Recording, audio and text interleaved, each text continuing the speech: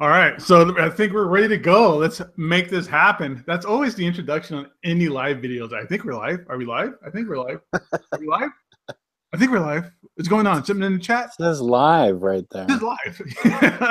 All right, everybody, check it out. Welcome to uh, this week's exciting episode of Omni Bro Omni Bros Live. I need to pronounce that better. Um, this is the weekly YouTube awesome channel show uh, all about omnibus collecting, uh, featuring all of your favorite omnibus collectors out of the Omnibus Collectors Facebook group. Um, starting out, we have the one, the only, the man who makes this happen every week, uh, Mr. Alimony Hall himself, the Omni Dog, Jess Bragg. Everybody, say what up, Jess. Hey yo, what up? Hit him with the hind. What up? What up? And of course, if you don't recognize this this beautiful, Yeah, who are, who the hell are you? Yeah, who's the bald guy? Is that Luis? no, this isn't Luis. This is Luis's dad. Uh, Luis's dad. Gabe- Yep. This is Gabe Infinity Watch, everybody. Uh, thanks to everybody showing up in the chat. We got a good group of people started off already. Already, everybody. Let me mute this bullshit. All right. Uh, so, anyways, Jess, what's what's been going on, man? How are you doing? Uh, all my teeth are fine. I haven't broken any in two weeks. Um, it's been beautiful weather here in sunny Virginia, so uh, I'm all in one piece right now. So I'm happy. Powder toast cereal, nice. Yeah, everybody in the chat wanted to see my shirt, and this is my Powder Toast Man shirt. With And a- where's he from? this is from Ren and Stimpy. Oh my gosh, I forgot all about that. Yeah, he flies backwards, and he had to grab onto his butt cheeks as he flew backwards. awesome. so there we go. There we go. Cool. Oh man. How's it going there in lost wages? Uh, that's crazy week still. Everything's still kind of uh, it's still kind of rough out here. You know, just kind of everybody's mentality and you know things like that going on. But, Yeah. I mean, it's always. I think uh, like they had a security guard on Ellen talking about how he got shot at the uh, the event and everything like that. But Wow. yeah, so it's still going on. But Was Ellen in Vegas or they flew him to LA or wherever? I think they flew him to L.A. Okay. Yeah, so That'd be cool if she did her show from Vegas for a week. she'd probably be dead with all the hookers and drugs out here. She'd be hitting the strip clubs, I bet. Probably. I mean, why not? I, Why got, I not? still need to find out. I still haven't found out yet if strip clubs have Wi-Fi access. I bet they won't let you even pull your cell phones out this day and age. I don't know. I see like uh, Instagram videos of people at strip clubs throwing money at strippers and stuff. Oh, I don't know if I want to be in anybody's picture throwing money at a stripper. We'll see. I don't know if that was like a private event. Oh, okay. Yeah, I'm excited to come out there next year for that signing. Yeah, man. Hopefully that stuff that gets set up soon. I mean, I know we uh, supposedly we're getting uh, Ed McGuinness out here pretty soon. Okay. Um, actually, I'm texting the guy, the other, the other guy I work with, because he wants to know if he, if I think Hot Toys would sell well in the store. And do you think they would? I'm replying back with "fuck yeah, they will."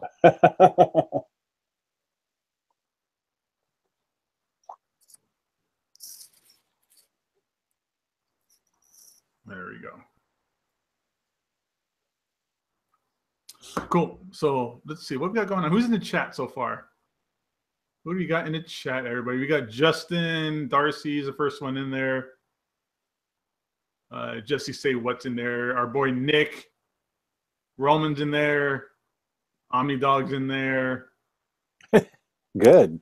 Yeah, Shakira Darling's in there. John Wilson, all the way from the UK. Right on, John. John, do you got any SIGs for me?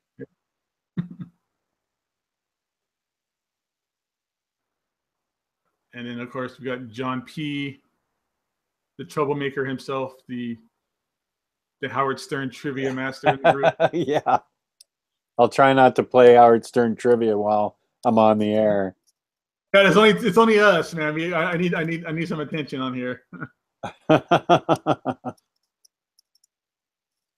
we have our a viewer from the Netherlands. Netherlands. The Netherlands. Tolga. Tolga. Tolga.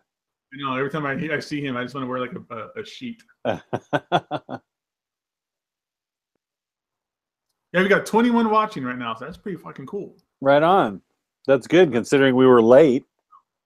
But and we were about two minutes from not even having a show, so It's just it's very very it was very very last minute of us trying to figure out topics and are we gonna do this now or this was the most last minute we've ever been. And we're pretty last minute.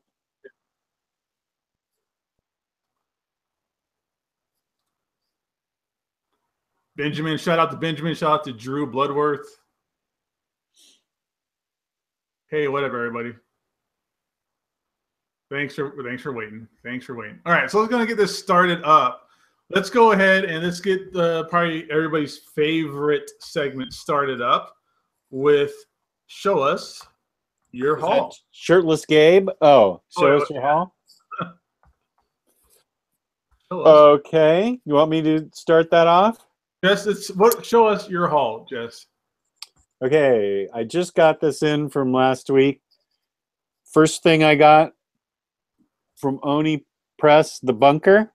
Ooh, On their way to bury a time cap, this is a cool sounding book.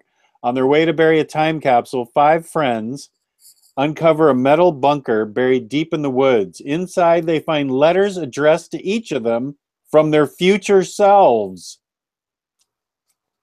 Told they will destroy the world in the very near future, the friends find themselves over the next few days growing further and further apart. Can the future really be changed, or will even darker fate engulf the world? I'm not even looking at the the art. I don't even know how the art is, but the book just sounded so good to me. no, I remember this was coming out. I think that's written by Joshua Hale Fialkov. Off- Also, he was the guy that did the uh, what was that book I was talking about last week? Uh, the torsos. Torso? I think that's what. No, not torso. That was Bendis, I think. That's Bendis. Yeah. No, actually, yeah, that's uh, uh Marc Andreyko, Bendis' friend. Oh, it is. Torso. Yeah. Where is Torso? Echoes. Echoes. That's what it is. Echoes. Okay. yeah, But it isn't that awesome. Fialkov though? Is that, It is. Yeah, you're right. And here's one with Fiona Staples art that I'm really excited about by Steve Niles, Mystery Society. Oh, cool. I didn't know she did anything else besides Saga. Yeah, this is from IDW. Okay.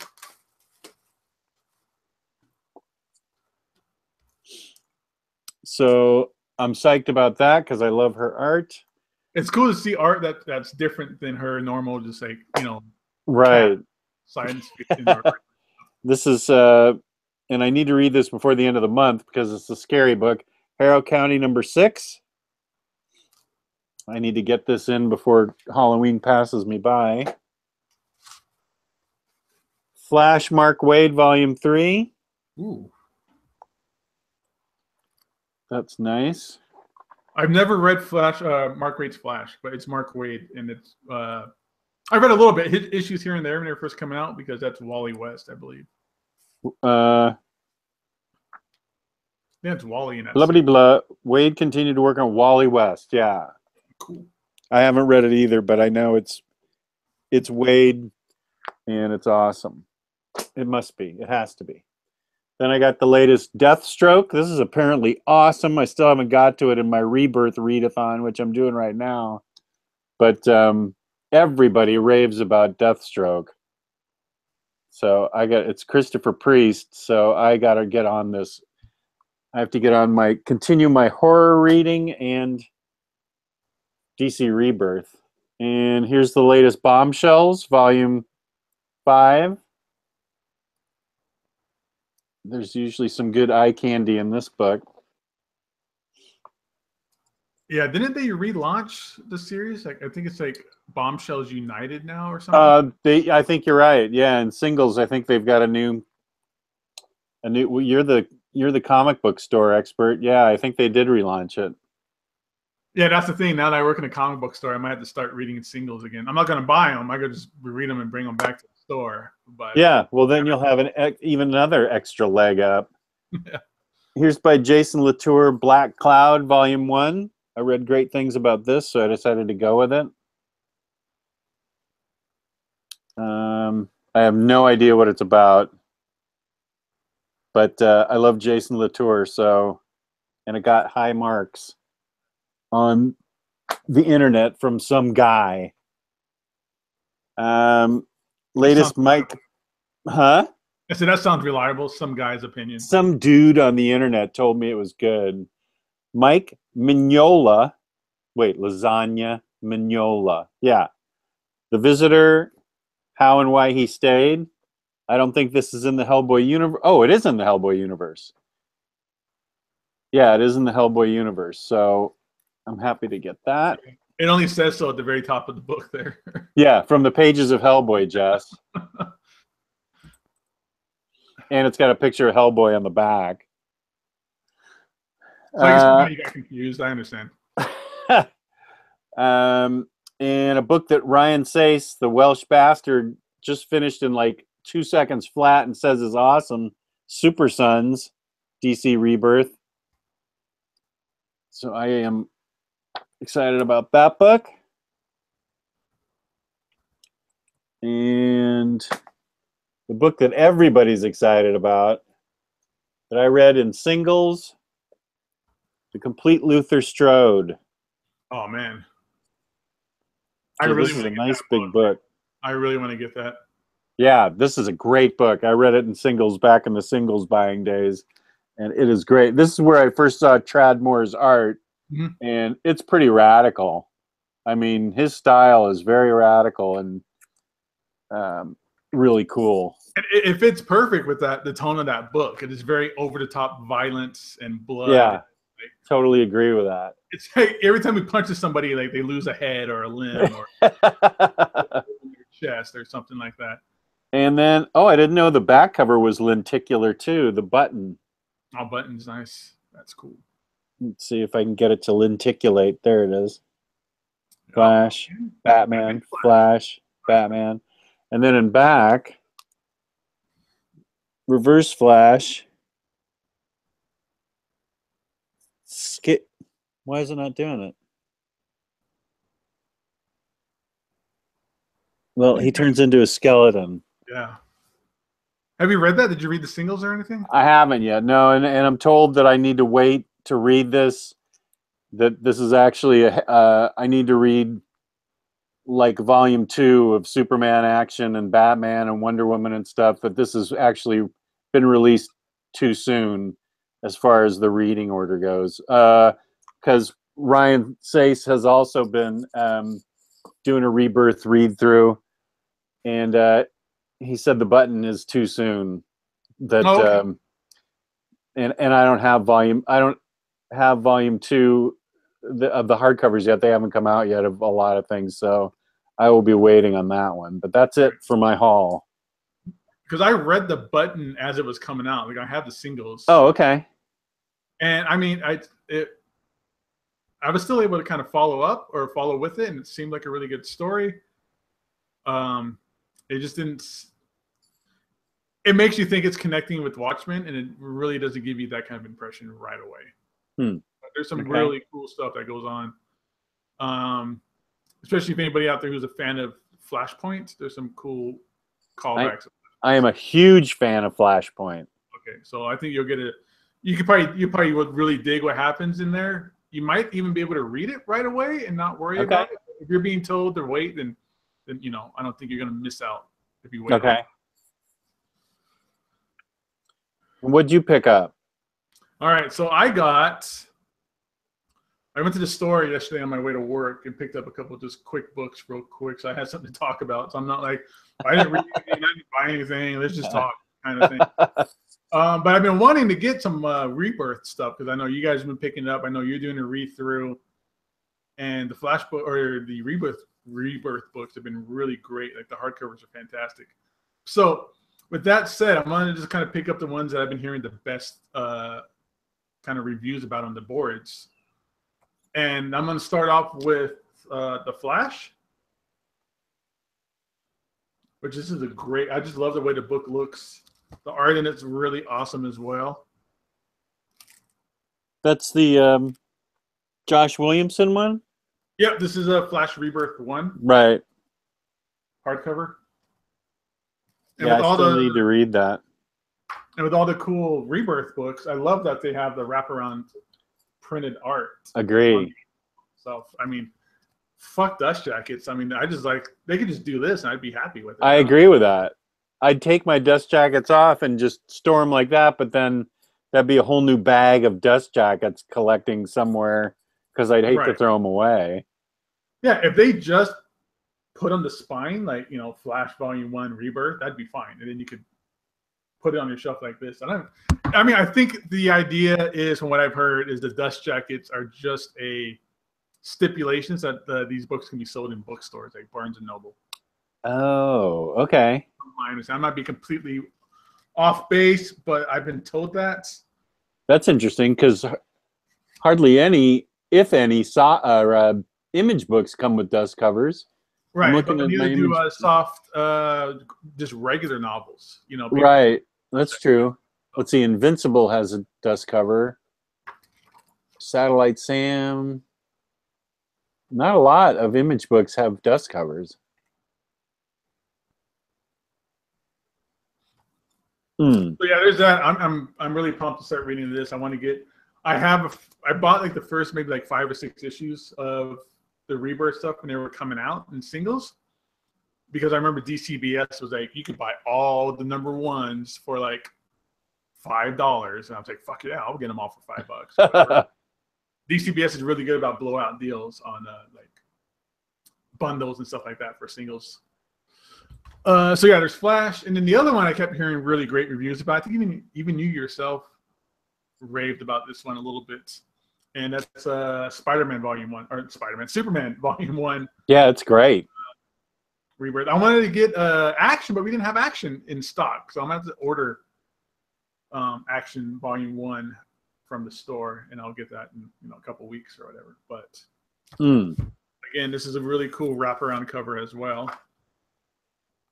So on one side you got a you got Jonathan Kent, and then you got Clark Kent, but then you can open it like this. Oh, nice. Yeah. One, one image.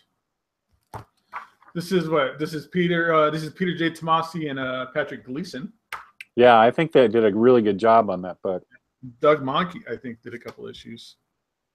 But these rebirth books, they're 35 bucks. And it's I think it's the same for all of them, or for the most part. It is issues one through 13, and then the uh, rebirth number one uh, one shot, like Flash rebirth number one, and Superman rebirth number one. So Right. Books for 35 bucks. You know, I, they're, they're pretty cheap on in stock trade. I mean, they're probably at like the $45 percent discount. Yeah. rate. So, yeah, that's cool. And just to answer Tolga's question, I've read Last Days of American Crime and it's awesome. Oh, the Rick Remender book, right? Yeah. I love that book. I need to reread it. And the last little bit I got is I needed the final hardcover for Thanos Infinity uh, storyline. Oh, do you like Thanos? Oh yeah, maybe just a little bit. I heard he was kind of cool. Yeah. I heard he he's the bad guy in Justice League. Yeah. something like that. I don't know, but yeah. There he is. Um, so yeah, this is a three hardcovers uh, volume story arc, and it's written and drawn by Jim Starlin. No, wait, I'm lying. Jim Starlin wrote it, but Ron Lim is back doing the art in this one. And Ron Lim, of course, is the guy that did Infinity Gauntlets and Silver Surfer, and Omar's here. There goes Omar, what's up, dude? I'm here. How are you guys tonight? Good. Good, Good timing. Still trying to learn how Excel works on a Mac. Ron Lim is the guy that drew like 18 comic books a month. He was So the man. back amazing. dude. He was the He man. was back in the '90s. That dude could carry like uh, okay, no exaggeration. I think he had four monthly books. Yeah, and he's back. He's back to his, his awesome self in here. His stuff looks great. But so I'm gonna start being. I'm gonna be able to read this cool Thanos storyline now that I have all three hardcovers. Oh, cool. Yeah, I'm ready for that. That's gonna be super badass. So Omar, you came just in time, man, for hashtag Show Us Your Haul. What do you got going? I got this guy right here. This is uh, third party reformatted Tyrannotron because it's completely illegal to call him Megatron, right? But everybody knows this is spoilers Autobot Megatron when he joins the Lost Light. That's from the IDW books, right? Oh, yeah. Uh, and I also, because of Super Squad D, shameless plug, not even my channel, but I love those guys. I ended up picking up this stupid book because I already owned the trade paperbacks, but I decided to get this. This is the Thor Omnibus, the Heroes Return, the Return Thor Omnibus by Dan Jurgens and John Romita Jr. Yeah, Tyler was psyched on that book. I own the trades, man.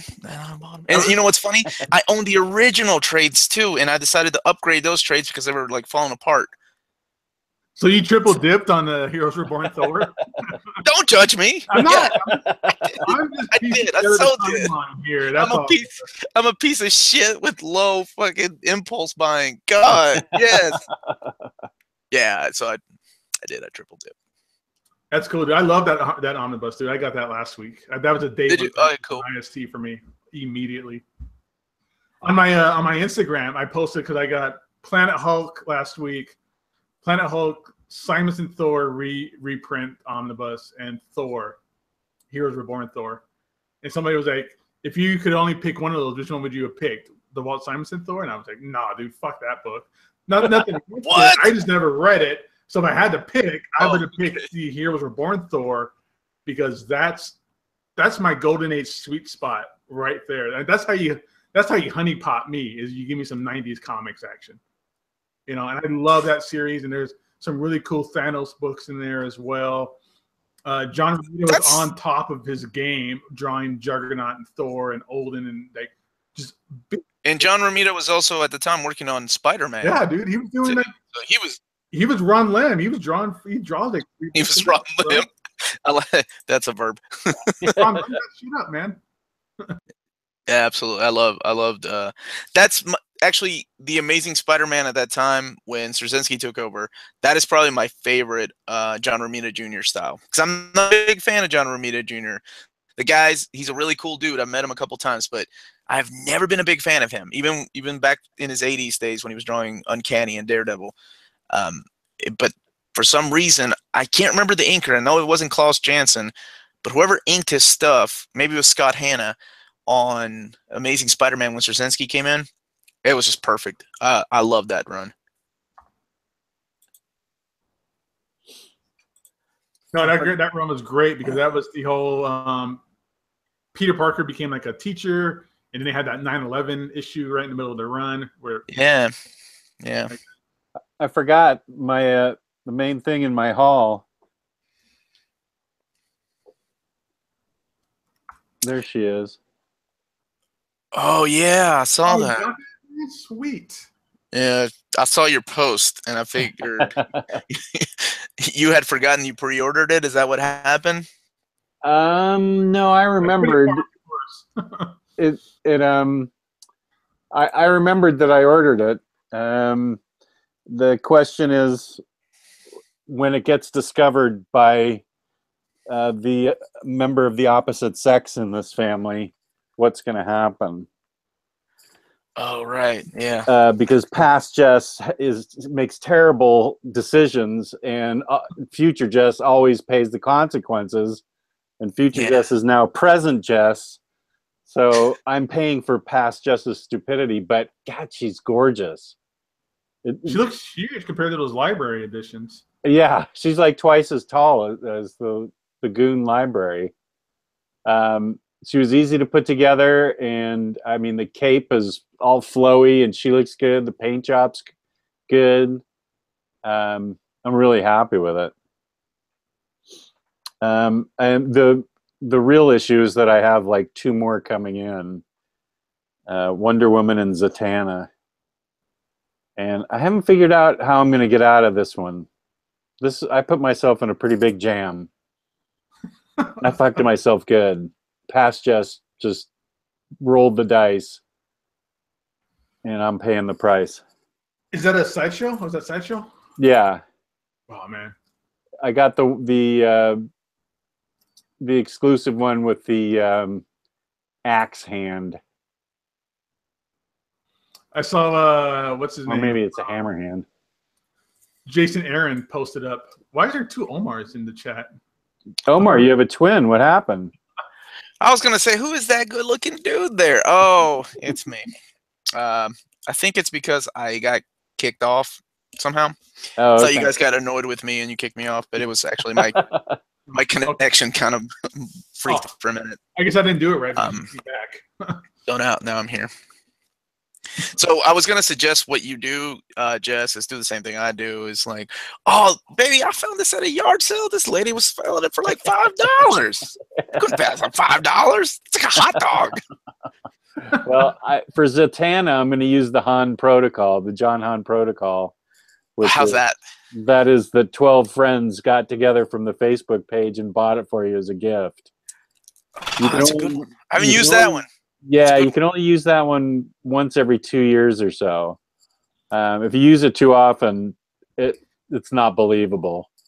So I need to be careful with that. I used it two years ago on my Batgirl Halloween bombshell statue, uh, but this one uh, I'm gonna save it for Zatanna. I think this one she'll accept the fact I did sell some books on eBay and the proceeds were rolled into her. That's not a lie; it's the truth. So. I'm gonna try the truth for once and see what happens. No, don't never do the truth. Never. on. I'm gonna try and see what happens. no, lies are always better. Half truths are better. Half truths. Yeah, if I told my Um, wife like twelve guys got together online to buy me something, there she would be like, "Mm, "No, that's, have they met you? Nobody likes you that meets you. There's no way anybody bought you anything." Right? Yeah. If I told my wife 12 guys got together to buy me something, what kind of Facebook group is that? That your guys are buying you presents? But that does happen. What happens to you guys? It happens to likable fellas. Is it basically you just watch Jess barefoot step into like M and M's and raw meat and stuff. yeah, Omni Dog. That's my fetish name. So they can uh, they can spank me. So earlier I was talking about how uh, Will, the other guy I work with at, at Torpedo, asked if we should get some hot toys. And it's because he found a, a, a guy with a collection of 84 of them that we're going to buy, I guess. 84 what? 84 hot toy figures. Whoa! What is that gonna set you back? I don't know. I don't know.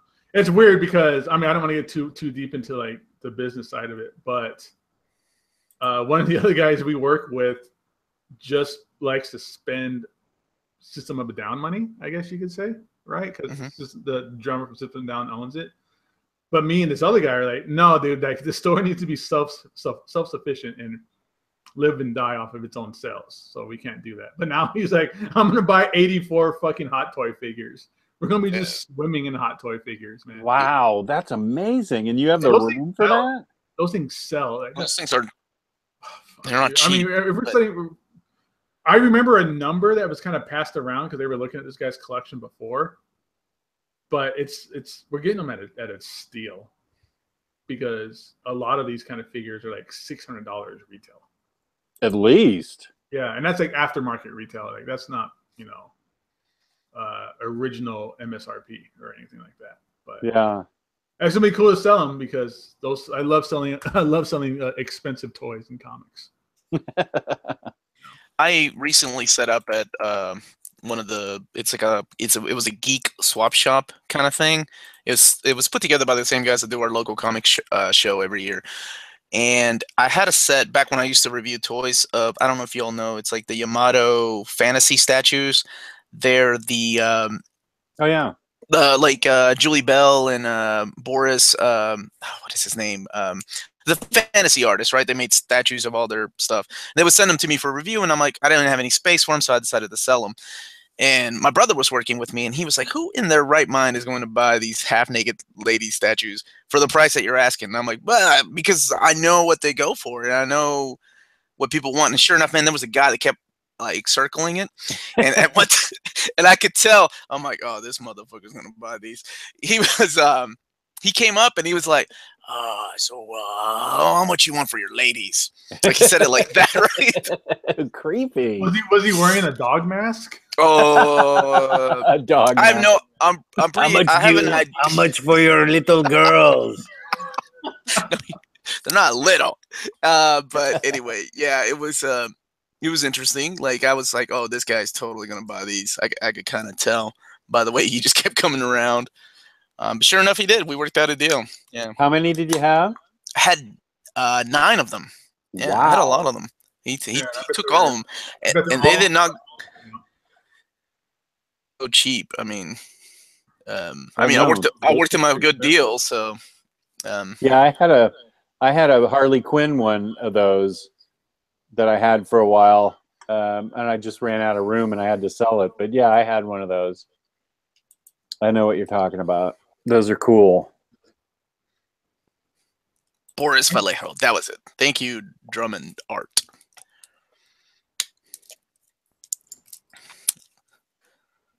Oh man, I bet those things are super crusty now. I don't want to. I bet they I don't want to like, think about it. snap off the shelf.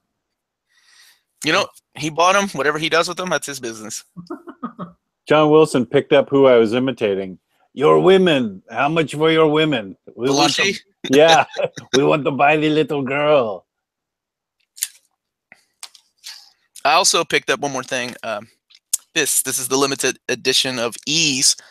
Contrary to popular belief, that is not pronounced wise. This is Ys Origin, and this is done by Limited Run Games, and they really are limited run. Like they'll they uh, I'm crazy and I like physical copies of video games instead of digital. So that was only available digital, and now I think they made like three thousand of these. They were sold out within the first day. Like it's crazy how fast those things go. and how'd you get it? Um, so Limited Run has a thing on their website where every Friday they release usually two games and two versions of PS4 and a PS Vita of each game, and they release them in batches, like one at 10 a.m. Eastern Standard Time and one I think at like 6 or 7 p.m. Eastern Standard Time. And they they sell out. Like just about every game they release sells out, and they um they it's they're limited to like sometimes 500 sometimes a thousand depending on something like this this one was like i think 3000 that's what it was um, and then because they most of the time they've been releasing things like this but they just started getting into the physical um, or the limited uh, special edition ones with big boxes and art books and things like that Mm. but most of the times they've been releasing like little games like this but yeah that, that's all i picked up That's pretty cool. That you got it for your Vita. Yeah, yeah, I love um being a father to like a eight and five year old. I'm up and around a lot, so I don't really get to play console games that much, unless it's the Super Nintendo, right? Like classic games, they love that stuff. Um, so I love handheld games because I can take them anywhere. That and my DS gets a lot of love. Mm. Yeah, you travel a lot too, so you probably Yeah. like bringing them with you. Absolutely, yeah. Yeah. So, uh, are we on to what we read this week, or have we? Do we still have anything else that we bought and or are hiding from our wives? That seems to be the theme of the show. Like I can't tell my wife I bought this. Please don't watch this episode. Um, no, I'm good. I didn't read anything. And Oh, that also- was quick. yeah, just to double back on uh, Omar, it was Scott Hanna that did the inks for uh, John. Ah, And J. Scott Campbell did a bunch of the covers. I forgot about that. Those fucking covers were amazing. yeah, that's where a lot of the. I think Jess has one of those statues, right? The Mary Jane one, where she's sitting Uh, down in that weird position. Yeah, that one. I think that isn't that where he it comes from. That run, like one yeah, of the these are J. Scott Campbell ones. Yeah. Now those those go for a pretty penny because they're out of print. Don't let my wife hear that. She'll want me to sell them. I got them when they were just released, so I did okay. But uh, has the price gone up a lot then? Uh, yeah, because I was looking uh, to getting a friend one. Um, I think it, it was the Gwen Stacy one. It was it was quite a bit. It was quite Mhm. a bit, a lot more than what you pray pray for them. Okay, good. I'll tell her that never. Yeah, Tyler, those are all One Piece statues. I have a lot. Those are the Mega House Portrait of Pirates from one of the greatest mangas ever. And Tyler, you weren't here earlier, but I hate you because you're the reason I ended up buying this stupid book. Hey, and as far um, as what what I read, uh, I read Invincible. I um, story's almost over. I'm not gonna spoil anything, but it's bittersweet. It's good. It's in its last story arc. It's a good, fun book, right? right. Uh, not a lot of deep elements into it, but I, I really like it. It's a good, fun book. No, man, Um, that Thor book is amazing. That's like some of the best Thor. That's probably the last Thor stuff that I liked until uh, uh, the current Jason Aaron stuff. Thor. I was talking about Invincible. Were you even listening to me? That's what my wife feels like. I was looking at that Thor information. That's awesome. Um, but yeah, Invincible is good. Um, kind of sad to see it go, but I like when a creator says, "Okay, that's enough. That's that's where it ends, and that's where it should end." Right? Yeah.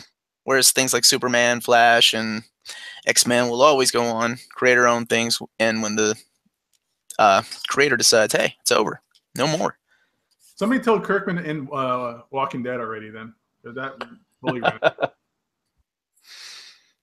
Walking I, I- Walking Dead is not as good to me as Invincible, but it's it's okay.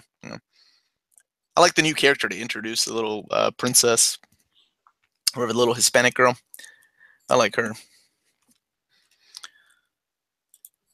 I don't know. what did man. you read, Jess? I read I read a stack of books. First I read Flintstones, Volume Two. It's freaking great. I loved it. I love this book. Volume two. I read let's see, let me start a different pile. Superman Reborn in my rebirth readathon. Superwoman in my readathon of Rebirth. And I'm sad to hear that it's getting canceled because I like this book a lot. I think it, it had a good run though. It was I liked uh, at least the first two trades I enjoyed. Or Yeah, the first two story arcs rather. good. I like. Um, uh, better that we get it than we didn't get it. So, Mhm. Harley mean, surpri- Quinn. Oh, go ahead. I was like, I'm surprised they didn't cancel titles earlier because I remember when the new 52 came out, they were axing Oh. titles left and right, like around issue eight, I think. Yeah, I was just gonna say issue eight was the death knell issue for a lot of things. Demon and Deathstroke. I can't remember the other one that got axed, but yeah, now I mean, the, what it lasted 18 issues, right? Superwoman and uh, yeah, what's the other book that's getting canned? Um, Omac was the other one from New 52. oh yeah, that was the other book. Well, no, from Rebirth. Wasn't there another book they're canceling? They're saying that's going to be Blue Beetle, but it hasn't been announced or like solicited yet. But Blue Beetle. Yeah, women and Latinos, man, they get no love. Carry on, Jess. as usual, I'm the to- coke and snowflake in this chat. White privilege. um, let's see. Let me do the wraparound cover for the Harley Quinn Rebirth book. Yeah. I love this because I love Harley Quinn. Um, it was great. And then in my continuing Hellboy readathon, I read Sledgehammer 44. And then I read all four Lobster Johnsons. Lobster Johnson 4. I love Lobster Johnson. You know, I started out not really liking it, and by the end, I really liked it a lot. I like his character a lot.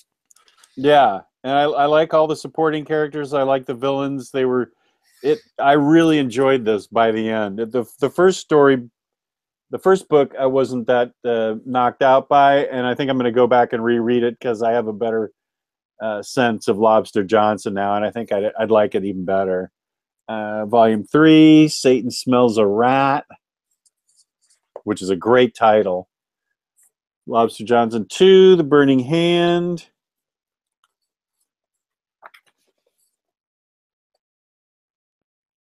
And Lobster Johnson One, The Iron Prometheus, which I need to read again because, as I say, this one didn't knock me out, and uh, I think I was expecting something different, and I put the blame on me. I accept responsibility in not liking this book. It's not uh, it's not their fault. It's me. It's not them. It's me. So that's what I read. I read a stack of stuff. Uh, I only got to watch one scary movie, but I read a bunch of books. What was the movie you watched? Just out of curiosity. Um, you wouldn't think it was scary because there's no slashers in it or anything. Um, it was called Dark Song. It was a yeah. It's a. It wasn't really scary. It was, but it was cool. It had a cool ending. Um, uh, in the English countryside, this woman um, hires a guy, and it takes months to create this ceremony to um, capture or or uh, grab either an angel or a demon, and if you get them, they owe you. Uh, they need to grant you a favor, and so the whole movie is this big long setup of what they have to go through physically to set up this incredibly complicated ceremony. Um, you know, they have to purify themselves. They do salt around this abandoned house, and they have to have food and water in the house for four months because it takes four months worth of this. So it's a super long buildup of what they have to go through to set up the ceremony for this 15 minute ending of when they actually call up what they've been looking for. And it was, I thought it was cool. It was, Is it a British movie? yeah. Yeah. Um, I it um, I, as a matter of fact, the male actor had an accent so thick I had trouble understanding him sometimes.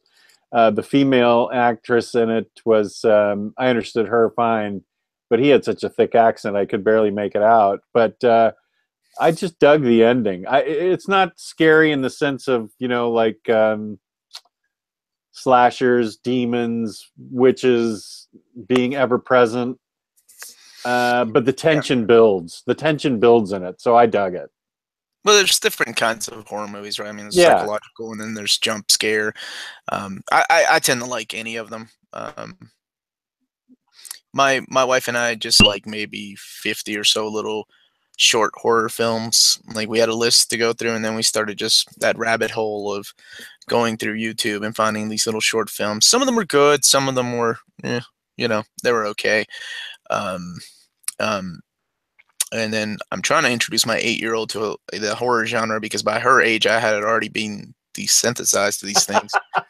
so my wife gave a big no when I was like Nightmare on Elm Street three, the Dream Warriors. It's like the best horror movie ever. All right, Yeah. so she did let me sh- show her like the uh, Brendan Fraser Mummy movie because I think it's a fun movie, but it still has a little bit maybe a horror elements for a kid.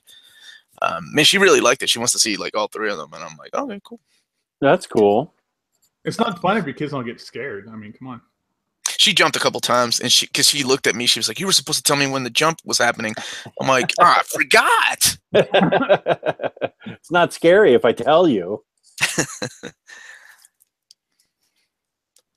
Yeah, so I've been Oh. trying to watch a lot of scary stuff, but I just haven't. Um, yeah no riley's gone through a lot of them um i think somebody gave him a recommendation was it luis i think um recommended a lot of movies to him and i know the last time we talked uh, a couple weeks ago you had you had a list of movies that uh, yeah some of those Right. movies on that list were awesome yeah, I was trying to get through a watch. bunch of them. Yeah, I'm trying to get through them. I only have 12 more days.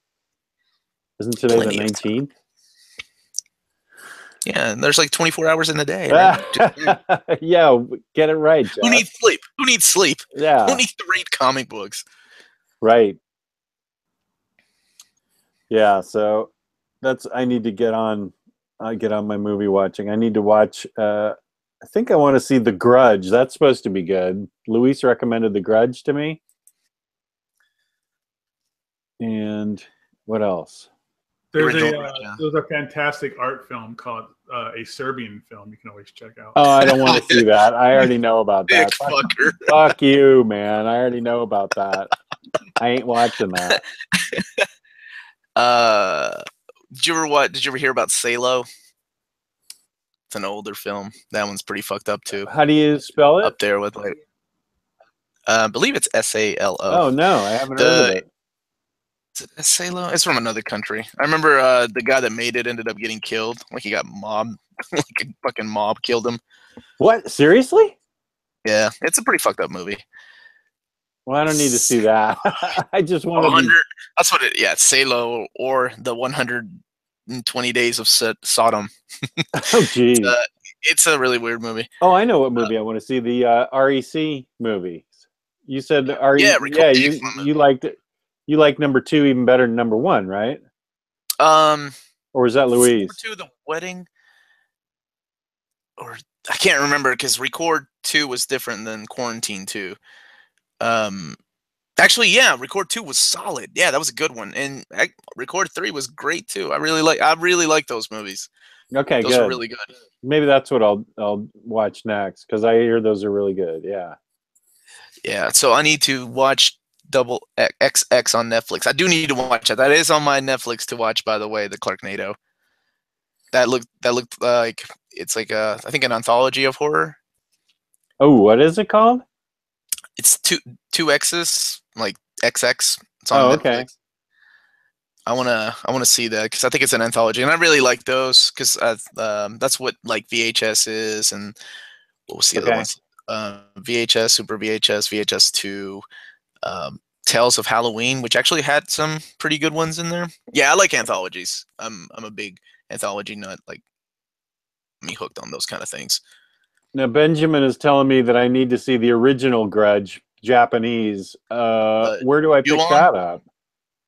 Where where do I find that? I don't know. He just says make sure you see the original Japanese film. Yeah, it's called Ju-on. Um, yeah, I think it's available through Netflix, or I don't know if it's streaming, but if you still believe in these things called DVDs, you could get Oh. them like that. uh, Nate's Um, Grace. I just got done talking about Dark Song. As a matter of fact, Yeah, just- that's what I just saw. she said Salo stays with you. Yeah, it did. Oh, Antichrist! I forgot about that. That's another fucked up film. I I love that. I love this went from horror to like fucked up films. Yeah, I, just games- wanna, I don't want to to throw mention up. I just, You just had to mention the Serbian film, didn't you? Yep.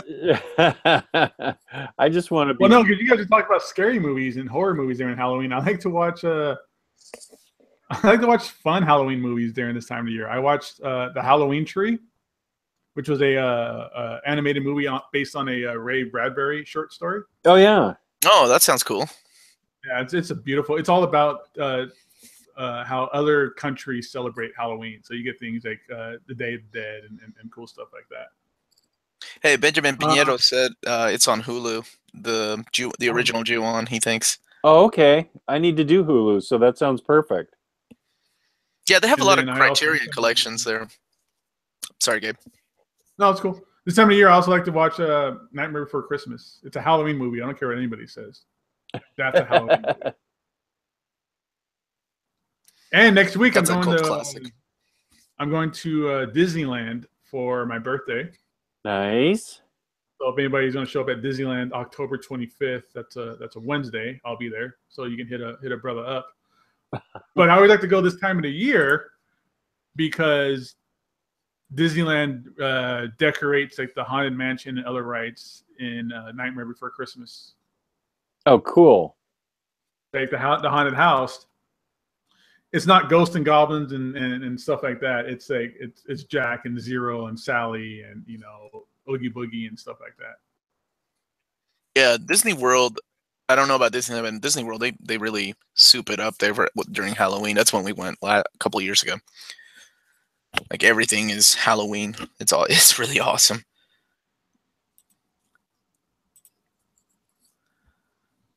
I didn't. I'm. Fuck, I'm trying to think if I watched any movies recently. I've been kind of. It's getting harder and harder to get the kids to sleep, so we end up not watching anything at at night. Uh. No, just South Park. Been catching up on South Park. Really, that's about it. But I heard South Park is really damn good this season. I haven't I haven't seen it in years.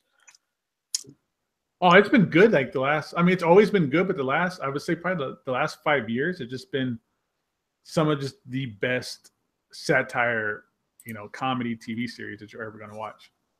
Yeah, I see shows getting canceled left and right on Comedy Central, and South Park still strong.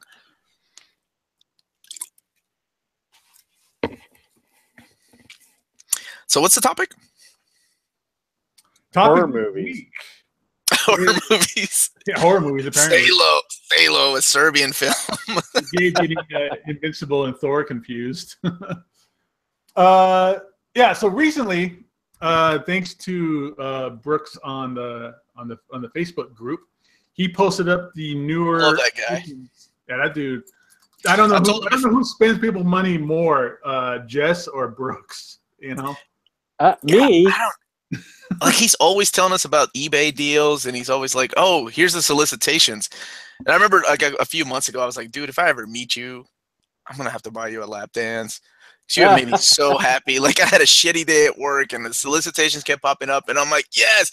I think me and Gabe were the only one excited about like Deadpool and X Force, which is really X Force Volume Two omnibus. Yep, yep. I can't wait for that. That's coming out in like a couple weeks too. I think. Yeah, yeah, it's out this month, I think. But uh, yeah, even better. I mean, with the newer books that that Brooks alerted us to. Um, for everybody who's watching or in the chat, I have the links and the description of what books we're going to be talking about, and the link to the new Hachette catalog. Oh yeah, that's it. Uh, but one of the cooler things I didn't think was ever going to happen. For some reason, I just had it heart set that this was never going to happen. Is uh, Garth Ennis Punisher Max Yeah. One Omnibus has been officially announced. Or That's got to be a two-volume omnibus collection. Oh, oh, yeah, it is. It is. Um, But- we don't. There's no details really on what's going to be in it, but we can suspect, knowing Omnibus is probably. I think I think there is details. I think it, it showed up on Amazon, if I'm not mistaken, and I think Brooks had that link too. I know it's on Amazon, but I didn't know it had the description of what was in there. I thought it just said something like Oh no, 900. It's on something. it's on uh the solicitations for Marvel for yeah, January. The Hachette. It's got yeah. No, Yeah. no, the actual Marvel solicitations that websites put out. Um, it shows the detailed information of all these omnibuses that we're Really? talking Holy about. Yeah, and they all Oh. come out the same month, by the way. Yeah, Weapon Born X. 1 through 4 and Punisher 1 through 30. That's it. Yep. So it's got Oh, Born. there's Born in there. That's the best. Yeah, that is an awesome Oh. story. And that's Dude, how you is kick off a totally max. day one buy. That's a day one buy for sure, dude. I own the damn hardcovers and I'm buying it. Well, I know. that Uh, kind of I don't know if idiot. there's any place to announce it, but I know uh, Riley might have a special deal going on or a special. Uh, he's gonna have something going on with his hardcovers later, later, later. But Riley's gonna Riley's gonna get rid of his hardcovers. So if anybody wants them, uh, Yeah. things after the second volume's been announced, and that includes volumes. What is it, four and five? That's the really hard ones to get. 4 and Four. 5, yeah. Four and five are the yeah. I think four was the biggest one, the big whale. Yeah. Right. Um, But so or those, just those, check out the Facebook group because you know people are going to start just dropping those things on the group pretty soon. oh yeah. Um, the one I'm really excited about is the continuation of uh, Jason Aaron's Wolverine. So we're getting a volume two. Called Wolvie Goes to Hell. Yeah. And Jess, you got the solicits up. I think it can it includes amazing or astonishing Spider-Man and Wolverine, right? Uh, let's see. I had it up. Well, shit, if it's solicited, I'm gonna have find the solicitations and see what's in there. It's it's out Uh, out and about. I'm assuming that's the 2000. Well, Newsarama just put it up two days ago, so let's see. Yeah, there we go. That, that's how you can find it. Um, but it's got the remaining Jason Aaron stories, which everybody thought they're never gonna do, right? Right. Yeah. But no way, no way. And holy shit, not like the first one's been out of. It took forever for the first one to go out of print. Man, that thing was discounted for years. Like I think two years. I've, I saw it at conventions for like thirty bucks. The cheapest I ever saw it was like twenty five, and then just like that, it disappeared and it went out of print. So people started, you know, seeking it, and I see it selling anywhere from like seventy-five to hundred dollars. Um, so Yeah, I it's got interesting mine- that it came back. And it- like sixty bucks, like a, a year ago. Let's see. The Clark Nato said it also includes Schism, which it does. I can't find the solicitations, but it includes yeah the rest of the Jason Aaron run.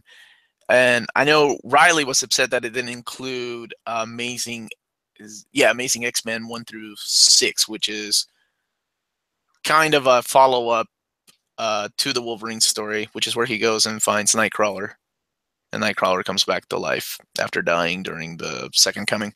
oh, that's a good. That's a that's a good run right there. But, Yeah, But it's it's it's not included in the Omni. oh well. Um, so I was I was happy to see that and the Weapon X omnibus because I know it's not one that's really liked, but I really like Frank Tieri's Weapon X storyline. All right. it- so- It it was a different take on the characters, and it was um, it's the there was one story called oh, what was it called like Sinister List, which is kind of like a take on Schindler's List. There's like a mutant concentration camp, and they're offering all these b and not even B listers, but like C and D listers like Maggot and Leech, and some of those characters have come back now, but like concentration camp and all these mutants are going there. Mister Sinister has a list of mutants that get to stay alive. Um, but I, I really thought that was a um, a fun book, not to be taken too seriously. Um, so I can't believe out of all the storylines, like I mean, that's up there, I guess, with Mutant X as far as like something that should be collected in an omnibus format. As Yeah. far as like X Men titles, So just real quick, uh, I found the solicitations. I put it in the uh, the Omni Bros chat. So if, if Jess or somebody, if you need to look it up, you got to scroll all the way down to the very bottom of the article. But there we could see what's in the books. So I didn't I didn't realize that was already put out. And everybody in the chat or watching the video, I updated the link in the description for this video so you guys can, you know, save that or reference that as well. Because Oh I'm yeah, all- there's Wolverine goes to hell omnibus. yeah. So uh, I'm trying to figure out what's the difference between Wolverine Goes to Hell and Wolverine Weapon X. It's- I just told you. I know. Weapon- He's not listening to you tonight. Damn, dude. I was like, is my mic on? Okay. Uh, no, the Weapon X uh, has nothing to do. Oh, with so it's literally Weapon X. It's literally the uh, Marvel Comics Yeah. event. Okay. like cool. it's gonna collect uh Frank Tieri's Wolverine uh, issues that he worked on, which I think it might be a total of like ten or so.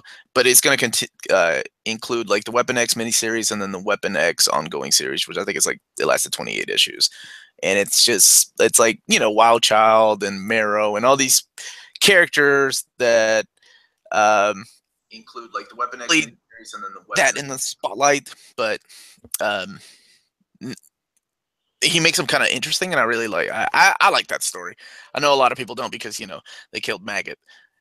Uh, I can't imagine too many people missing Maggot. Shut up, dude. Come on. I love.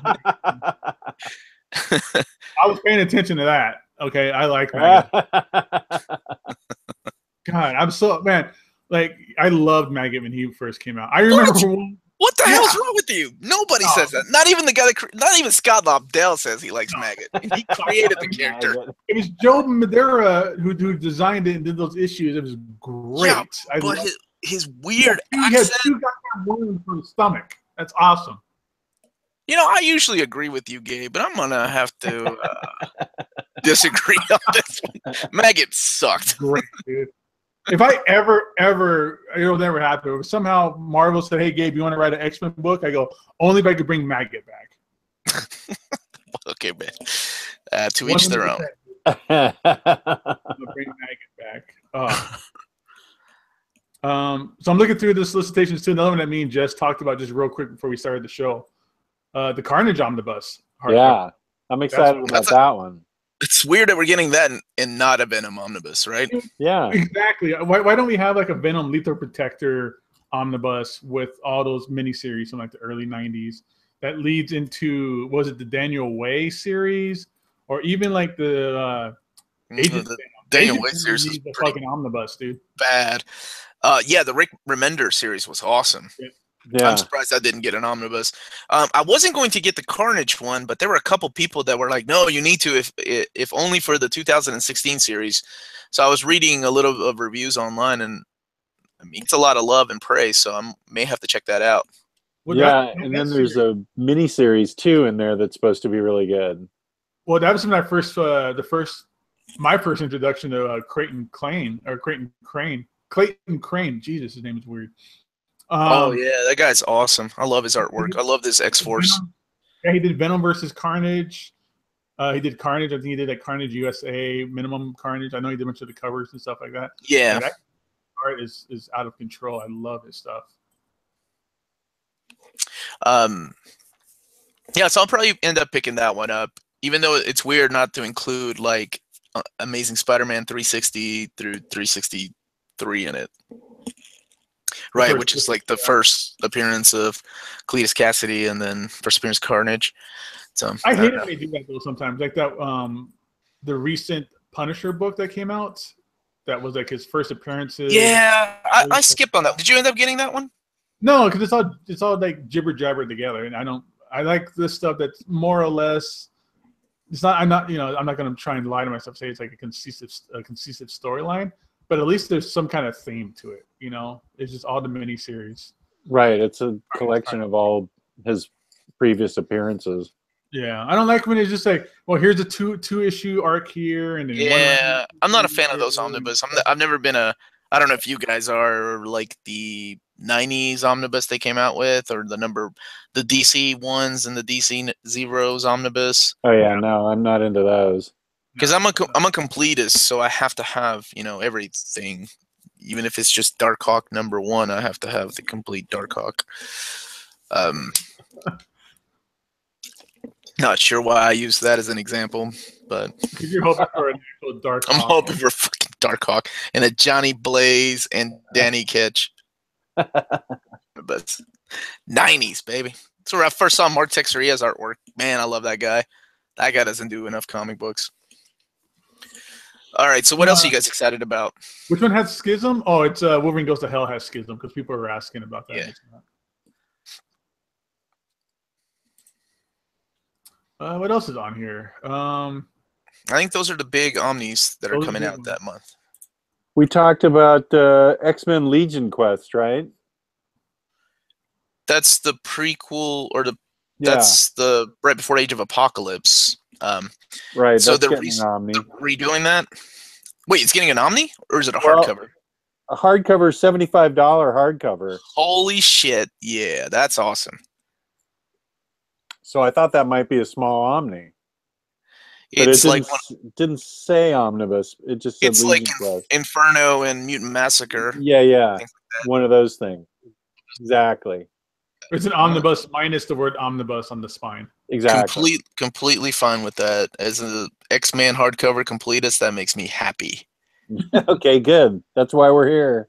Like, yeah, man, Bishop's Crossing's got to get it. Dude, I, I own Bishop's Crossing. The thing that pissed me off is them trying to fucking pad out Marvel Legacy number one and sell it as a hardcover for forty dollars. Like, they're making it two hundred and sixty-four pages. So they're including Marvel Legacy one, like the the primer pages, and I don't know what the hell Foom magazine is, but it's Oh, that's the uh, 40 Friends of bucks. Marvel. That's the Friends of Marvel. Um, Friends of Old Marvel. yeah, that's what it is. Oh, okay. Late 60s, early 70s magazine. Yeah, yeah. it just uh, Red re- Fanzine rem- kind of thing. reminds me a little bit of like what DC did. Back Uh, everybody had a uh, uh, like a fanzine, but that was like Marvel's official fanzine kind of thing. Right. Um, let's see. Um, I also see on here. Oh, I'll God, probably, I mean- I'm probably the only person who might care about this. Maybe Omar, but there's a uh, it's a trade, but it's uh, X Force and Cable Onslaught Rising trade paperback. that will good. That will go good right along my Cable and X Force Volume Two, Cable and X Force Classic. Yeah, so completist again. This is the uh, Jeph Loeb stuff, and it has like Steve Skroce art and like Ian Churchill art and all that stuff. So it's all like the upcoming like onslaught. 'Cause it'll fit right there with like us, I think. So Yeah, it's uh, it's the next. I love that they're doing the continuation of trade paperbacks for people that have been collecting trade paperbacks like forever, right? Because the last Cable and X Force Classic Volume Two. I believe that came out probably six or seven years ago, and they solicited a Volume Three, but then they canceled it because you know I guess nobody gave a shit about Cable and X Force. But now that the movie's coming out, they're not calling it Cable and X Force Volume Three. They're calling it what you said, prequel to Onslaught. New Mutants. New Mutants is getting an epic, and it fills in that slot of New Mutants class in between New Mutant Classics number seven, which is the final uh, run of New Mutants in the classic line, and it fills it in between the Rob Liefeld uh, New Mutants. The I think it's just called Cable and the New Mutants. That was not collected in the omnibus. It's the hardcover, like Marvel Premiere hardcover that collects New Mutants 86 through like 95, leaving or 96, leaving out the Extinction Agenda storyline. Oh, that's cool. So, yeah, nerds like me are excited. They're like, "Oh shit, I get everything in fucking collected edition." Yeah, dude. No, I'm all over that cable and uh, that cable onslaught because I just love. I loved uh, Jeph Loeb's run on cable back then. That stuff was great. Yeah, it was good. It was a fresh take on the character. I remember he brought um, what's her name, uh, Lee Forster, the the blonde. Yeah, I was a big fan of his run too, and I love Ski- uh, Steve Skroce. That guy was one of the best comic book artists, and um, sadly he went on to do what uh, screen, uh, not screenplays, uh, um, what did he do? He went- Storyboards? yeah, for the Matrix, right? Matrix. There's nothing wrong with that, man. Nothing wrong with that. Oh yeah, more money, right? So more power to him. It's the Matrix. He he worked on the greatest movie ever made. Okay, well, I don't know about that, but um, no, I love the Matrix. I love the Matrix.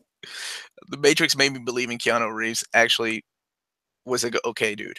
Like it was a bit long before I knew Keanu Reeves was a good guy. I just didn't think the guy could act. Oh, my god! You ever saw like Parenthood or like Bill and Ted's Excellent Adventure? Come on. No, he was perfect in Bill and Ted's Excellent Adventure, and in Point Break. Perfect. he can pass those roles.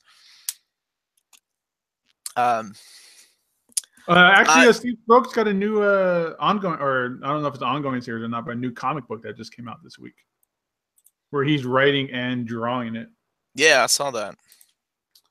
Forgot the name of it though. Shit, I saw it last night. But it's beautiful because that guy's art's amazing. But you look at like his old like X Men or not X Men but X Man stuff like during like Age of Apocalypse and stuff like that, and you just see people just posting it on the board and talking about how ugly it is and terrible it was and stuff like that. I kind of liked. He had a very uh, clean Joe Quesada style, like a without all the shadow. I love his uh. Gambit series, like that first Gambit series he did. Oh, with Fabian Nicieza? Yeah. Yeah. Oh, that was so good. That was actually a good storyline. All right, Jess, what are you excited about?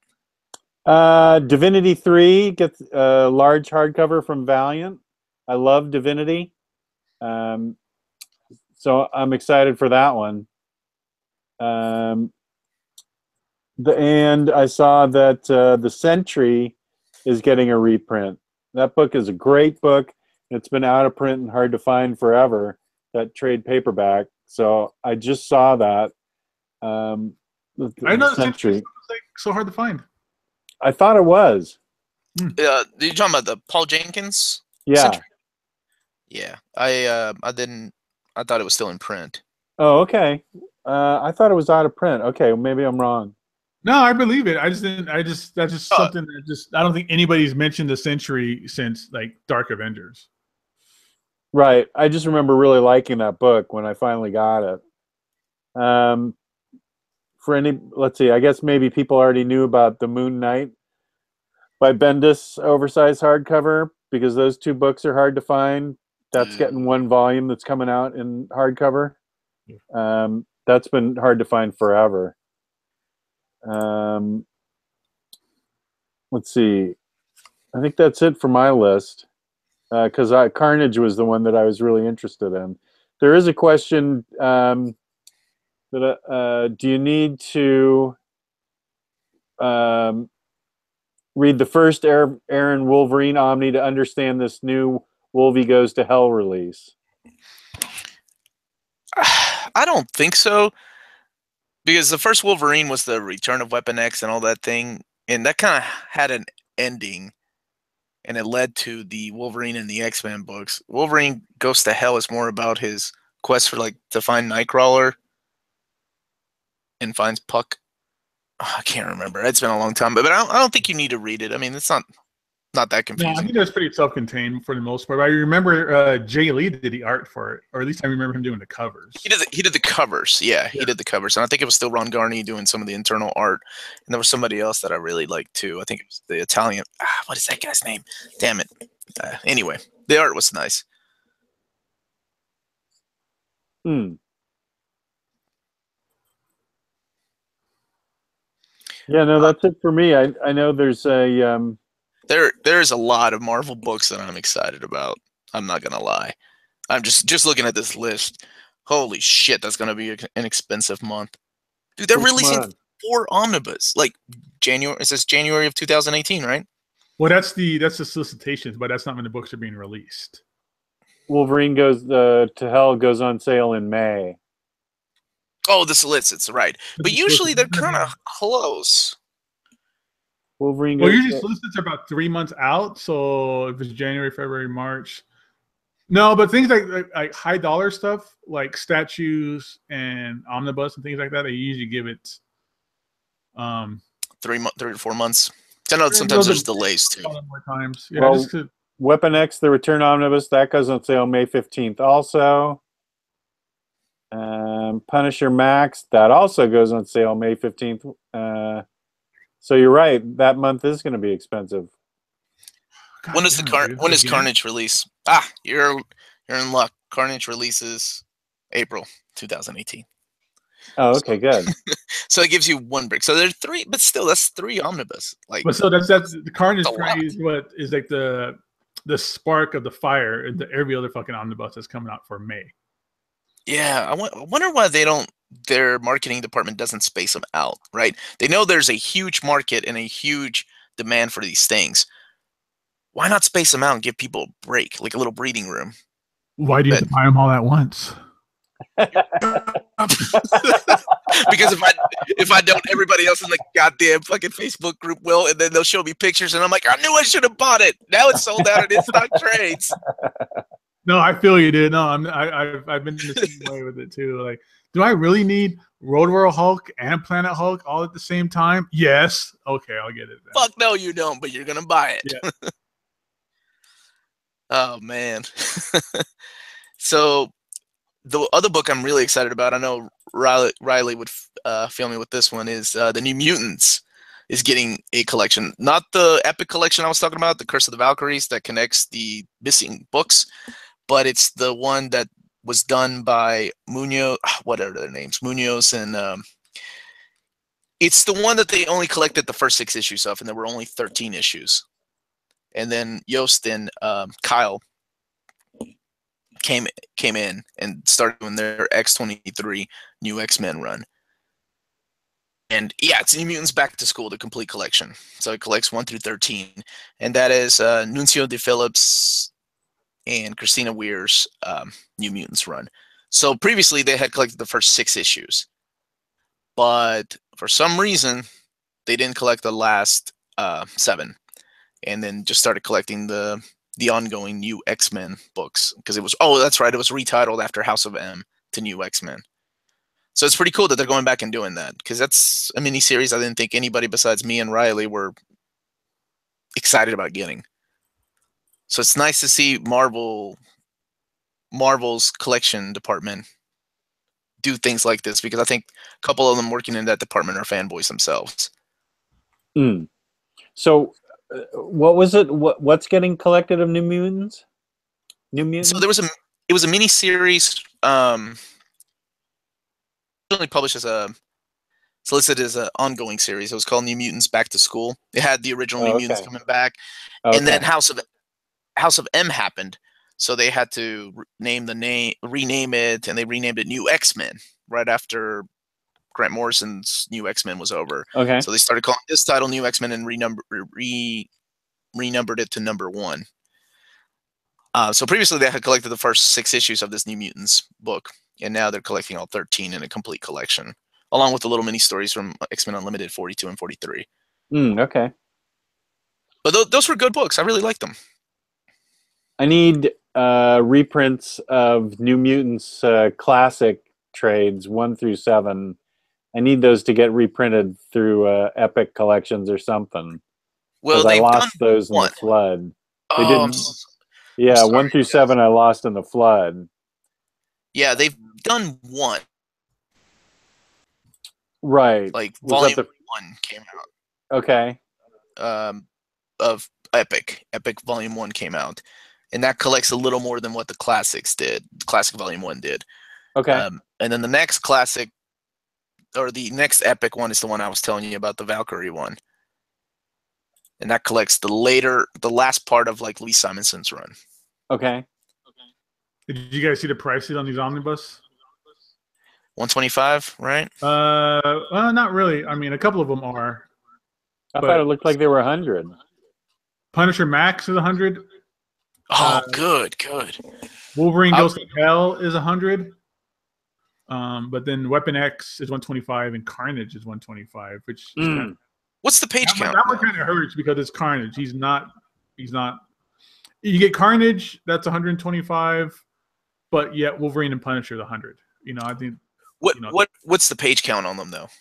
Uh, we talking about significantly a lot more, or just like twenty pages?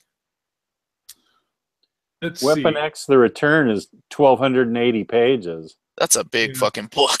Yeah, that's why it's Uh, one hundred and twenty-five. And Carnage is uh, uh 1168, so 1168. Okay, because the other one, the weapon, the Wolverine goes to hell can't be any more than a thousand because it, there's not that much more to collect. It's a little less than a thousand. It's a 984.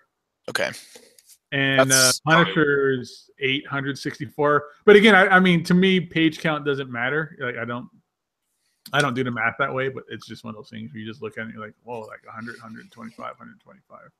yeah, But I'll get them all, so I don't know why I'm. spending like that. I'm gonna get them on first day at half off, and then complain about IST not sending it 30 seconds later. Oh no! Wait, you know what? I'll just order them you'll- from the store and get them be- that Tuesday. You'll be getting them that day with free shipping and five days before the rest of us. And you can just go on the group and say, "Suckers, suck it! I got these books already. We'll You're just ordering them." Even uh, I know because I know I ordered the Infinity box set through Torpedo. I'm gonna be in that for half are off too. crazy. Really? Yeah, What did Oh, that? I'm set, getting that. what did that set you back, dude? Like, It's like 250. holy shit! I mean, it retails at it retails at five, but I'm gonna get it for half off at. Ah, I'm fucking with you, dude. I ain't nobody to judge. I paid like 175 for that big motherfucker back there, so you're telling the wrong guy. I know, man. Glass houses, bro. Glass houses. We'll throw crack rocks in your glass house or whatever. Oh my god, dude! I forgot. I I, I forgot to mention that. Uh, so you know, I like collecting the Bishojo Marvel figures, and I'm like, I don't need the Street Fighter ones.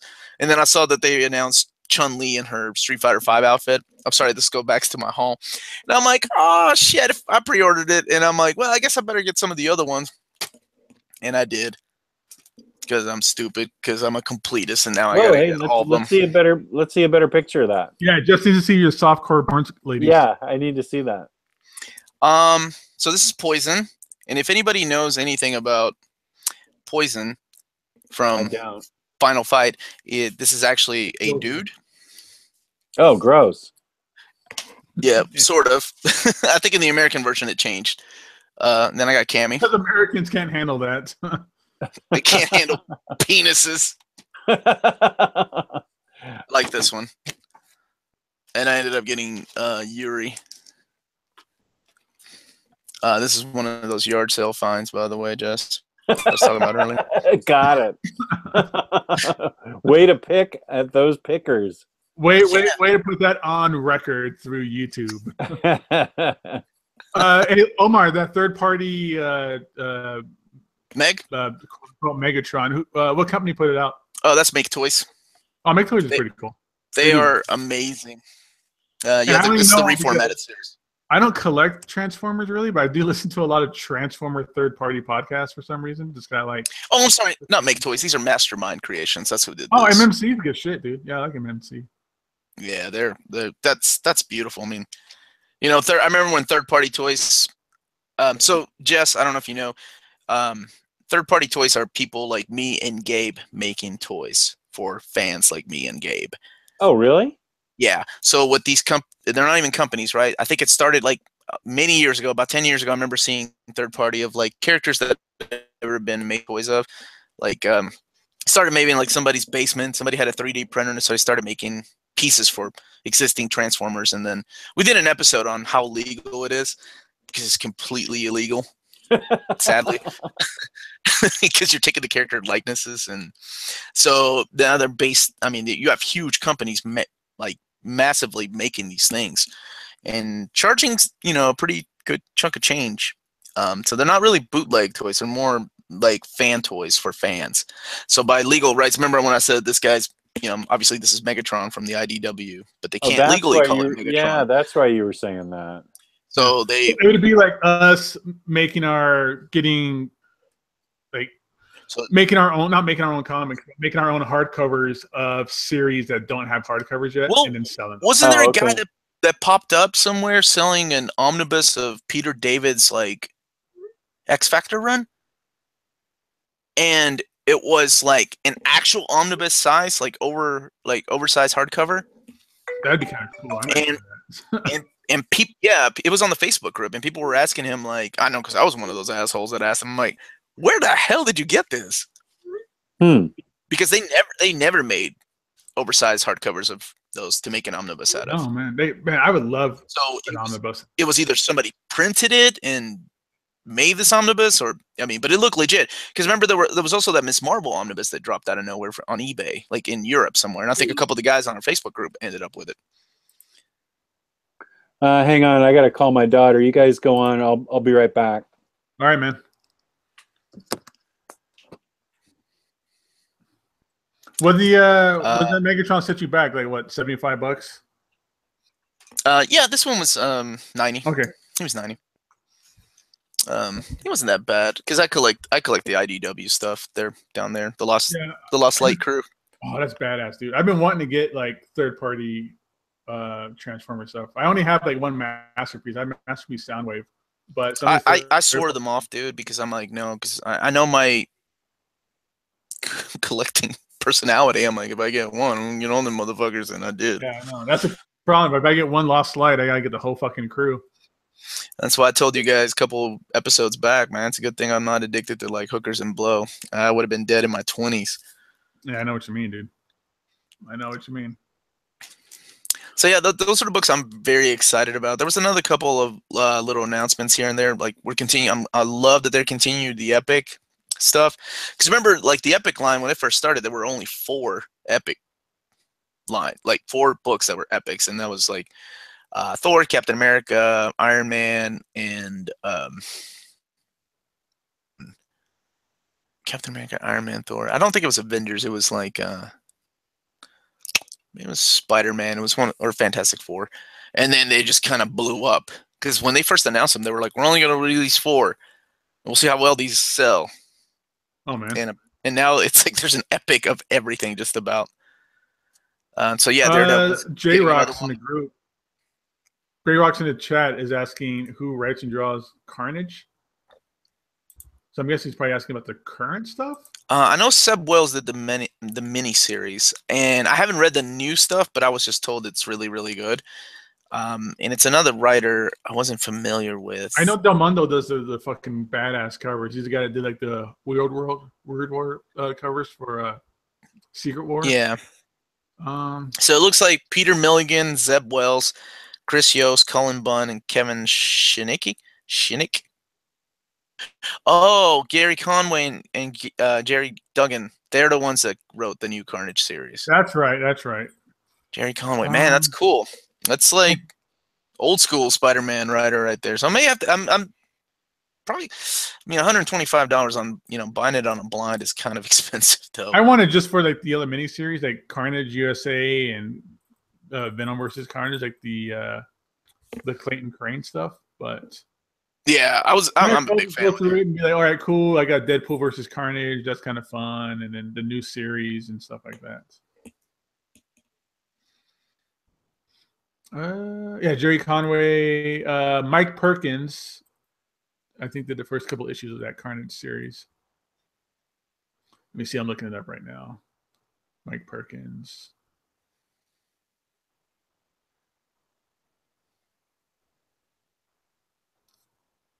But I love the idea that they're putting out, um, I guess, upgraded versions of these out of print books, especially like the Punisher Max stuff and like Yeah, uh, I'm glad they're listening to us, right? Because obviously they know that there is demand for these things if people are buying them, and I'm just glad they're collecting Born. I have I have all those hardcovers, but I'm one of those idiots that's probably gonna sell No. them and and get them again because I I, I love that run. I never was able to find a uh, hardcover for Born, and I love that series just because I really love Darick Robertson's art and just how Yeah. fucked up that story was. Where it's basically uh, Punisher Frank Castle like almost willed, you know, willed his family being murdered because he wanted a he wanted a war to fight, just to basically sacrifice his family to. Yeah, and I like how Yeah, it's- crazy he kind of makes him. You know? Oh yeah, well, because it's, a- it's a Vietnam story, and he's like, you know, killing other soldiers who are being assholes and and, and stuff like that. You know, so I think one guy was. I might be completely mixing this up with some other Vietnam movie, but I believe like one of the soldiers in his troop was trying to rape a Viet Cong lady, and he just drowns him in like in the swamps, you know, and stuff Oh, like that. yeah, what was that? Casualties of War, maybe. Right. Every other Vietnam movie is always about Just about like most of those. Yeah. Um, but it- that was gritty. Did you ever read his um, Nick Fury? His Fury Max? The one with Darick Robertson as well on the art, Yeah. or do you mean the, the more current Nick Fury? No, no, the, the Garth Ennis and Darick Robertson run. no, I Like, haven't. uh, No, Oh, yeah. It's it's pretty gritty, and but it's good. I liked it just as much. I just bought the uh, the Fury Max off of uh, Luis off the off the groups. I'm waiting for that in the mail. Is that Which one? Is that my war gone by? Yeah, to work on buy one. Yeah, Oh, yeah, I haven't read that one. it kind of uh because one of my favorite Punisher series, like my my one favorite Punisher series, Punisher Max, and I think that Right. Oregon by mixes in with that as well, or leads up into that too. Oh, it does. Okay. Yeah, Yeah, it's all it's all it's all in the same like universe or Max universe. That's what. Yeah, I love that Jason Aaron Punisher. Love it. Yeah. That's the best I- bullseye ever. Oh man, just the part where like Bullseye was just like sleeping on his on his family's grave and stuff like that. And takes the But- wife and daughter and stuff out for picnic and, the, and stuff. is so creepy. Better than the Colin Farrell uh, bullseye.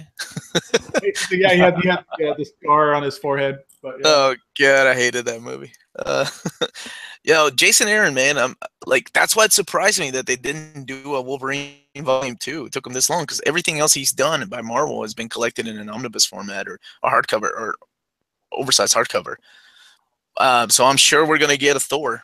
I mean, there is no way in hell that Marvel does not cash in on the Jason Aaron name and Mighty Thor.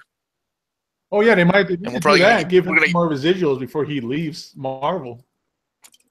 And and he'll probably do two, you know, two omnis out of that. I can't wait for that, especially if they put in an unworthy Thor in one of those omnis would be great. Yeah, uh, you know they will. I mean, they usually do.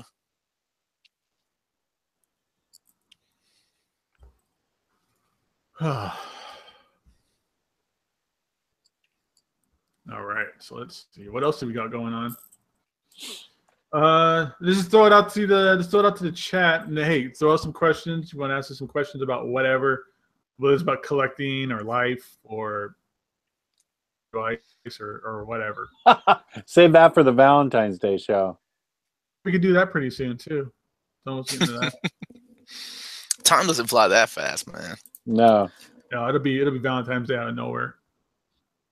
All right, John Wilson says the Daredevil movie director's cut wasn't too bad. One with all the Coolio footage.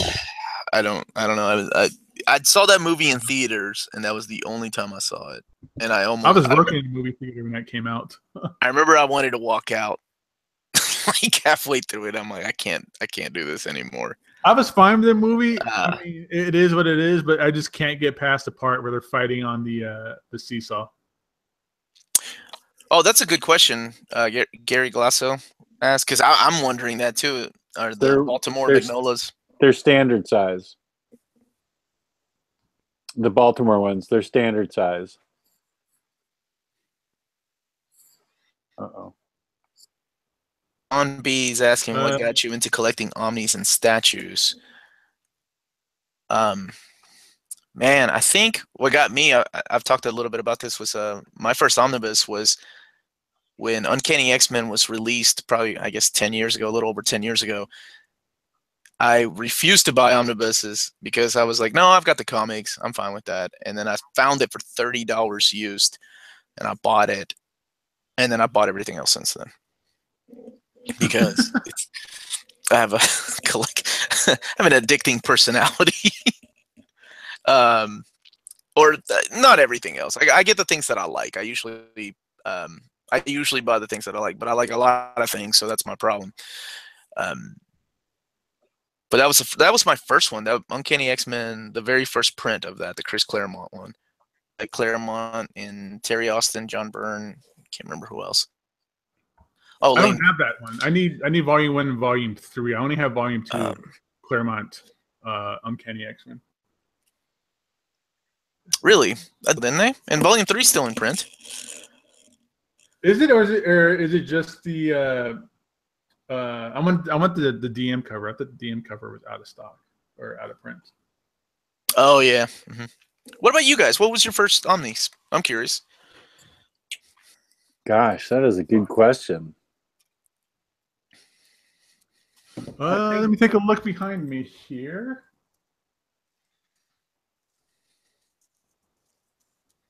I think my first one was probably Uncanny X Force.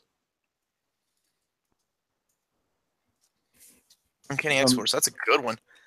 Yeah, Go on. I remember being in the comic store, my comic shop in Annapolis, and um, I, I just was going down the aisle and saying, "What's good? What's good?" And they said, uh, "If you're uh, even if you're not into X Men, you should try Uncanny X Force. This book is great. It's got Deadpool. It's got this. It's got that."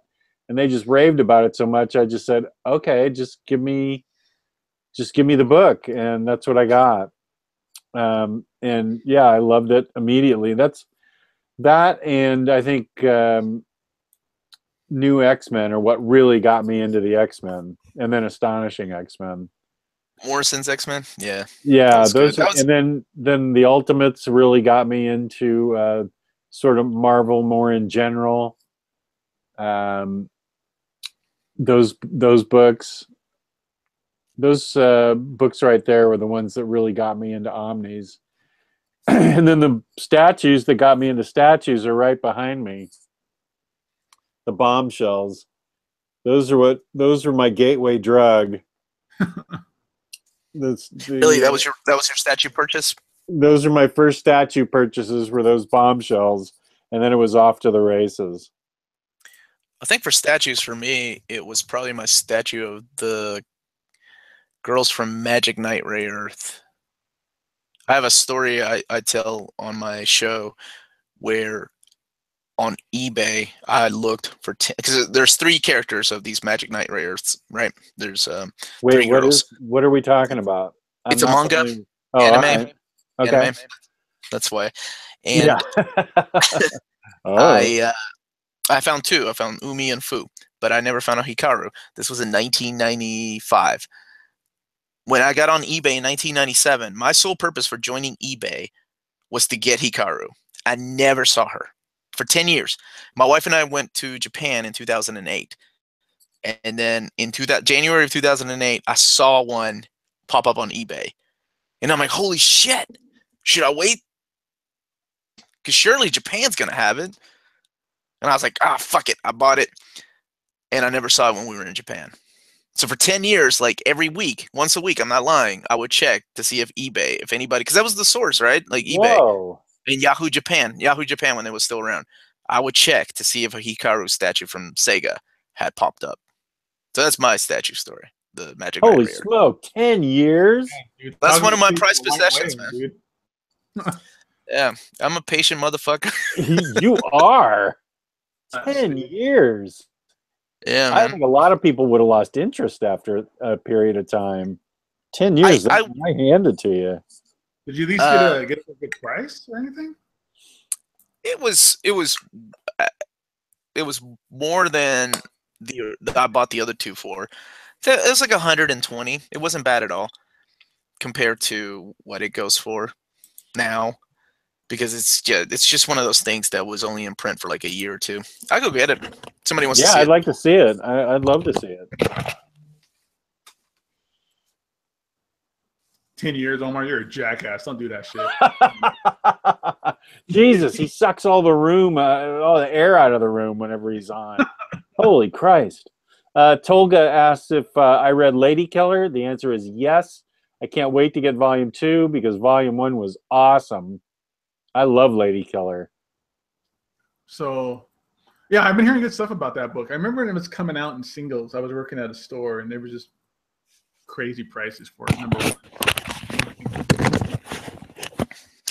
Man, I love Omar. I'm so glad he's here on the show. Yeah, it's good to have you back, Omar. Oh, thanks for the invite. That was uh. Why are you going 75 on a 55? Because the goddamn Omni Bros are on. So this is Okay, uh, wait. Hikaru. Hold it there for a little bit so the camera can focus on it. Uh, she's from a Clamp series from Japan. Uh, Clamp is a four women group that do manga, and then they do anime. They're the ones that did like Cardcaptor Sakura, and uh, what's the famous one? Um, or damn, I can't remember. Oh, X 1999. They did Tokyo Babylon, Angelic Layer Chobits, and uh, this is from Magic Knight Earth, and this is Hikaru. Yeah. Well, I know you're speaking English, but I don't understand a word you're saying. But that's cool. Japanese books, man. Yeah. So she took me 10 years to get. That's amazing. Oh, That's that's a really good shot right there. Your camera froze perfectly. Oh, cool. Yeah, Um, but yeah, this is is a her. cool story. Favorite character. So I was I was stubborn. So Wow. don't give up on your dreams of reprints of omnibuses, guys. Yeah, They're coming. Or you'll run into them in the wild somewhere, right? It happens. Because I'm I'm. I'm one of those people. I think somebody was asking earlier if we wait for reprints. I'm one of those people that will wait for reprints.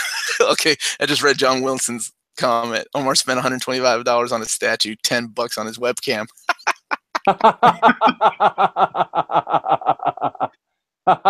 That's a good one. That's a good one. uh, but yeah, I'm one of those people that, that will wait out. If, if there was a book, because I, I have most of the books I, I want, except for like the uh, Promethea uh, Absolutes. yeah, You you own and you really like because I'm still holding on for that omnibus that they solicited in oh yeah, right. 2009, I think. And then they canceled and they solicited again. And then I think they solicited three times. Um, but I will, I will patiently wait for something like I, I, I cannot go over like cover price for on a book. Like if it, if it was a hundred dollars, you know, I have to get it for 50 or 60. I think. Oh, but I yeah. haven't, I haven't missed much, many books that went out of print though. You're the Hagelmeister. You're the one I was buying the books from, and you said, "Talk me down. Don't just pay what I'm asking for. You got to haggle."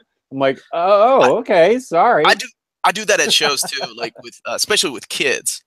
Like if a kid comes up to me and pays me full price, I'm like, "All right, man, I'm gonna teach you how to haggle, dude. I'm asking, you know, I'm asking five dollars for this. Hey, will you take three? And I'm like, three? I'm not taking three. I'll take four. Then you're like, meet me halfway, three fifty. And I'm like, all right, fuck it, let's do three fifty. I don't say fuck it, but I'm like, yeah, let's do three fifty.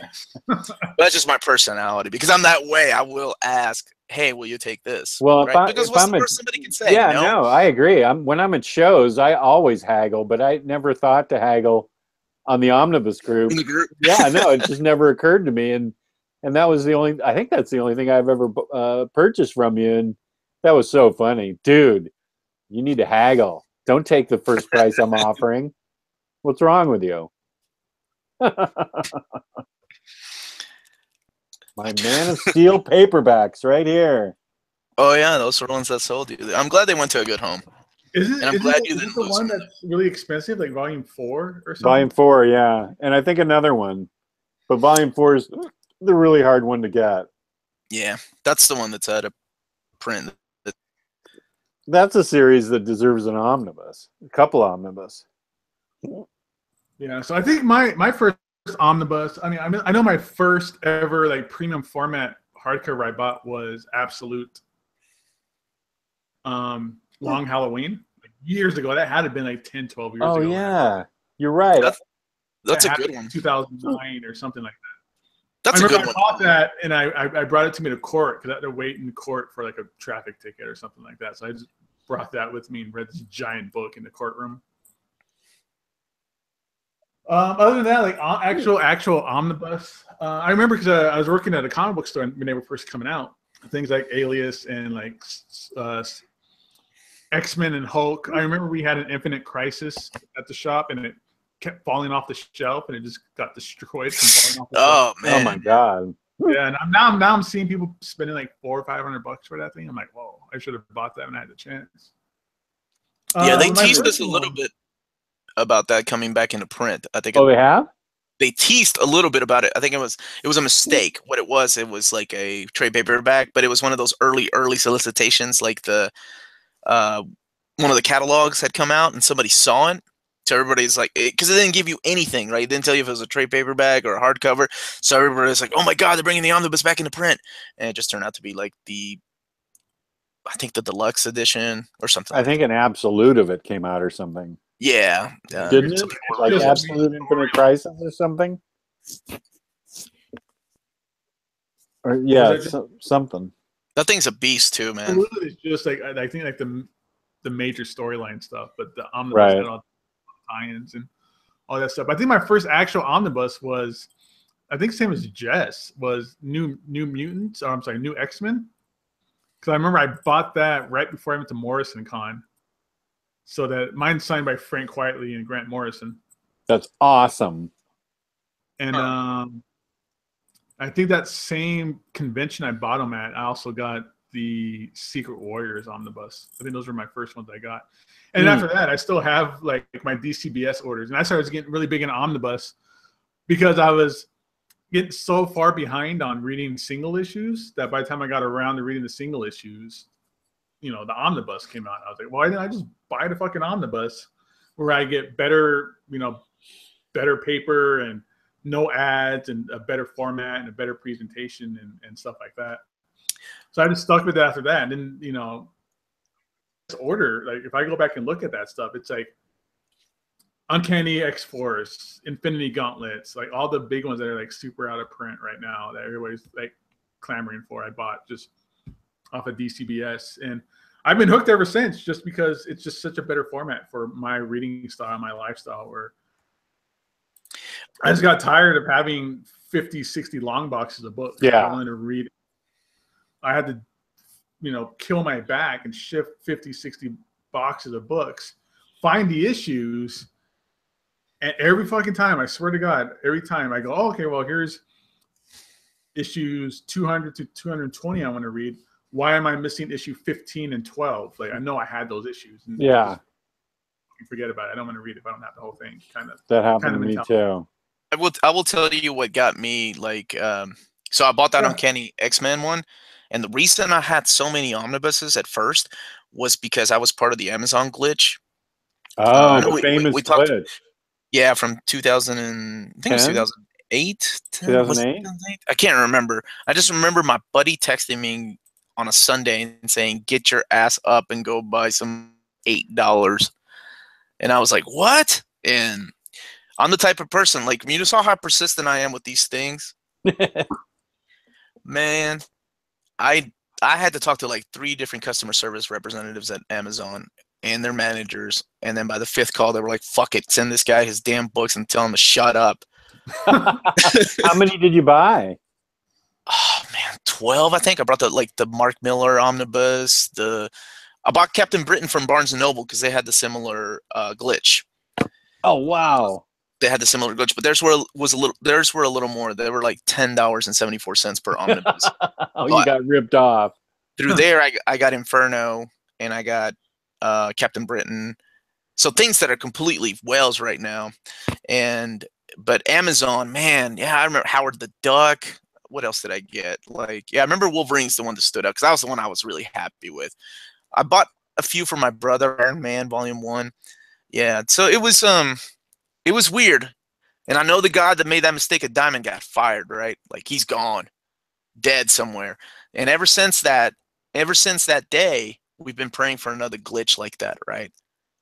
And I remember even Bleeding Cool got in on that. They were like, they started doing a glitch watch list every couple of months. Like, oh, this they're making a price mistake. Well, I mean, Amazon does every once in a while, right? Sometimes you get lucky, like Wonder Woman Volume Two.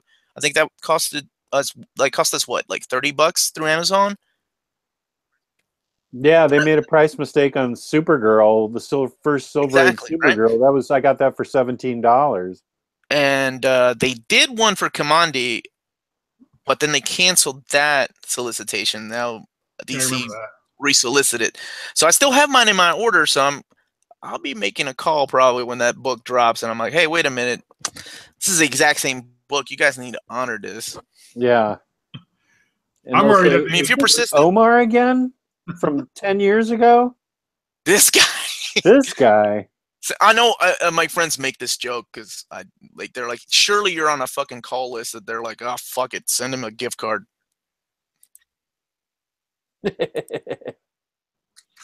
Yeah, but kind of like what you were saying, Omar. I've, I've never really omnibus and paid like super crazy money for it. I've never really paid much more over cover. And usually, if I pay over cover, it's because I got it on eBay and it was like free shipping. So I'm like, oh, if it's you know ten dollars over cover, I'll just consider that the shipping price, kind of thing. You know, uh, I I almost fuck that. Uh, I'm still kind of butthurt over that astonishing X Men fiasco. I was telling you. Oh, you, Yeah, that sucks. I- I just now a week later. Did you did you get- did you get a hold of them to say, hey, this is the this is what happened? Did you talk to their customer service? Because I mean, that's that's what I would have done if it was me. Oh, dude, I I, I Them called understand them, that. I bothered them, and they were like, "Just there's nothing we can do." And I was like, because the lady that I bought it from, you know, she canceled it because her husband decided not to sell his books or whatever bullshit nonsense they came up with, and then refunds me, canceled it, and refunds me the A fucking week e- later. Yeah, a that's week- not cool. So it took like a week later. So I'm on. I'm. I, I made like five phone calls to eBay, and I was like, "This person's like is holding me hostage with my money by sending it to me as an e-check. I paid immediately. She got those funds immediately. How come I can't get it back? And it's sitting in my PayPal as a pending. You know that they said it's going to take another week to process. And I just now got the notification that it's it went through. So. That just left a bad taste in my mouth for Astonishing X Men. I'll, I'll just wait for a reprint or, or, or something. oh no, I'm finding you that. I'm finding you that for seventy five bucks. That's my life goal.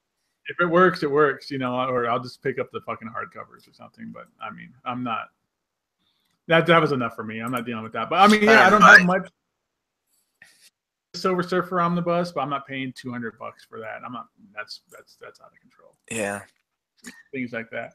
Other than that, I have most of the out of print omnibus that I want. You know, I got I got uh Annihilation for dirt cheap. I've got you know I I love bought- that omnibus. I, I can't believe that they never brought that one back into print. That's weird. And they gave Yeah. it such a small print to start with.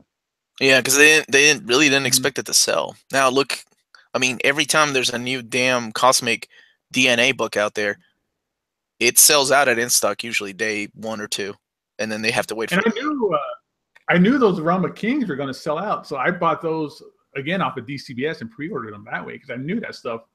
Mhm. Cosmic stuff doesn't, you know, they don't think there's that, that big enough of a fan base, so they don't they underprint them and you know nobody cares. They, they think nobody cares. So that's how I got my Annihilation so cheap. My Hickman Fantastic Four, I got those off of DCBS pre-ordered at like half off, you know, because I just love that run you know, stuff like that. So I mean, I'm not really looking for any kind of omnibus right now, other than the new stuff that's that's coming out that you know we can all get for dirt cheap. And then next week or this week, whatever, the Akira box set comes out through DCBS. That's have right. for a hundred bucks. I've got it locked in at 103 through Amazon. That was the Yeah, I- cheapest I found it. I think. And, oh and I, I, I as shared that I shared that link through the Facebook group because I was like, there. I don't think it's gonna get less than this, uh, because it's Kodansha. At Yeah, most, you're gonna don't get like 30, 35 percent off. So that's Yeah. insane. and right now on Amazon, it's it's like full price. It's like three percent off or something like. What? What is full price? Two hundred. I think bucks? it's one ninety nine. I think it's one ninety nine. If only we Oh, had so I have you to thank for that, Omar. That's awesome. Thank you. I didn't uh, know you were the originator of that link. That's cool. Yeah, I, up ordered it that, one. day. Um, kept up with the price because I use Tractor to keep up with prices, Yeah. and it notified me that it went less than 106. So I was like, "Oh, cool, 103. Hell yeah, I'll do that." Um, Uh, right now it's a thirty-three percent off. It's one thirty-four ninety-nine on Amazon right now. and I say it will probably stay there because it's Kodansha, and I don't. Maybe, maybe, maybe it, Black Friday. I don't know. You know, I really don't know how many they're printing. Um, I know they're older books; they don't reprint. So, but it is Kira. So who knows? I think when, when it's something like that, where it's such a high dollar item, that you're not going to see it stick around very long. I don't think they're going to make that much of it. I will tell you this much. I will. I'm gonna buy this. If they ever announce colored Akira from the Epic Marvel Epic run, I will fucking rebuy it again because I love the colors of that book. Like everything was, a you know, everything had to be approved by Katsuhiro Otomo. So it, it was like he looked at the colors and he would look at the page and be like, okay, this is good. This is needs to change. And this is, I mean, the first time I ever saw like computer separated colors were done by Steve Oliff in this group. It was amazing. And a few couple probably like two years ago, he was selling original pages from his recolored pages. And I was I did not have any money to buy any of those pages. They were beautiful though. Now I still have my epic run down there. And I keep them, but man, if they ever announce a hardcover collection of Akira recolored, I, I will be all over that. I don't give a shit if I have to pay full two hundred dollar price. I, I will, 'Cause it, it is beautiful, guys. Yeah, mine. Uh, my Akira box set is locked in at uh, one hundred two forty-nine. Yeah, that must be what I am too. Yeah, I think we all got it. I don't think. I don't think you're going to see it for that cheap on uh, in stock trades at all. I think it'll be like 30 35 percent off or something like that for for manga on there. Yeah, at if it's Kodansha, it's probably like thirty or thirty-five. No more than that. Oh, speaking of, Jess and I have that Akira vinyl, the Woohoo! vinyl deck. Yeah, that thing's out of print, guys. Dude, it's like people want like 200 bucks for it on eBay right now. It's it's crazy. It's I just lucked into that. I just thought, oh, this supposed to be great movie, great soundtrack, great book. I'll just get it. I love that soundtrack. Bam! There was only, I think there were less than 800 printed of the of the color that we have.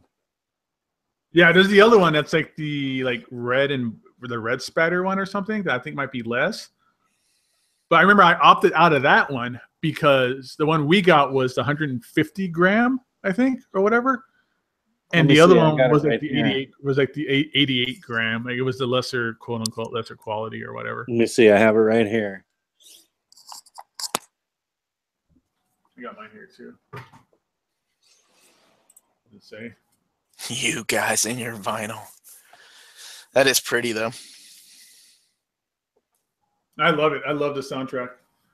Like I used to really big be really big into like audiophile stuff for like sound systems in my house. Mhm. And I always had like, you know, like high end polk audio and, and things like that.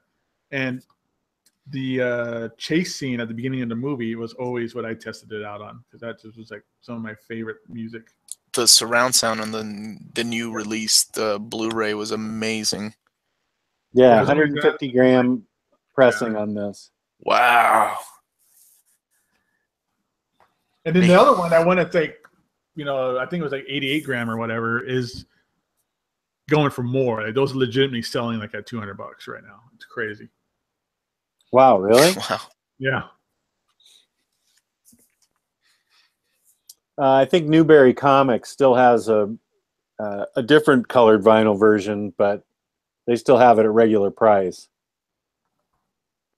If anybody out there is seeking the Akira vinyl, I knew Matthew Dubay was. I don't think he watches this show though. The fucker.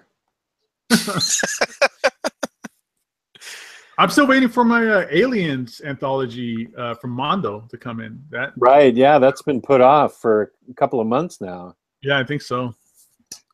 It's a collection of all their movies, like one through four. I think it's four. Yeah, it's four albums. The quadrology. Yeah, but it's a beautiful box set. Like it's a big old slipcase box and everything. It's, it's Yeah. It looks great. And I think it was like a fair price. It was like I don't know. I want to say like 60, 70 bucks or something. Yeah, it was a good price for four LPs. You know, it's my the, the buddy that co-hosts my show. He also collects vinyl, and he was like, "Oh, you got to get into it." I'm like, have you seen my basement? Don't have room for There's another. only so many rabbit holes you can fall into, man. I don't have enough room for another hobby. Look at but it's bullshit I buy because I want one figure. I end up buying four of them. I love to see a man sicker than I am. That's me, dude. Makes me feel so much better. really puts things into perspective, doesn't it? Yeah, You it be like- does. you could tell your wife, "Look, look at this asshole we were talking to last You night." think I'm bad? Look at Omar. Yeah, look at Omar. He's got a basement and an attic. The fucking shit that he has. His two kids are never going to go to college. Omar's gonna try and haggle college for his kids. yeah. yes, I will. Nah, man, I'll give you, I'll give you, I'll give you fifteen thousand a year. Fifteen thousand a year. Throw in a couple of Amazon gift cards. You got yourself a Tyler Blunt, you are not mad at me. You you uh, are super happy that I got you into vinyl. Tyler. yeah, Tyler, you're also happy because I got him into the video game vinyls as well. yeah. Now that is something I could get into. Man, they're so cool. And some of the ones that are released, like the special editions of, I'm like, oh, I There's can't a, do it. There's a Sonic Mania album that just came out and is like Yeah, I saw that. for like eighty bucks now. Like there's a big old thing for it. I think Tyler got that. Um, I think Tyler got that Sonic soundtrack, didn't you? I know he's He got loves the little boy? game. yeah. Y'all sell some college. Yeah, I know he loves the game. Like he reviewed the game, and it looked like a fun game. I can't believe I haven't picked it up yet. Um, that came with a big like Sonic statue too.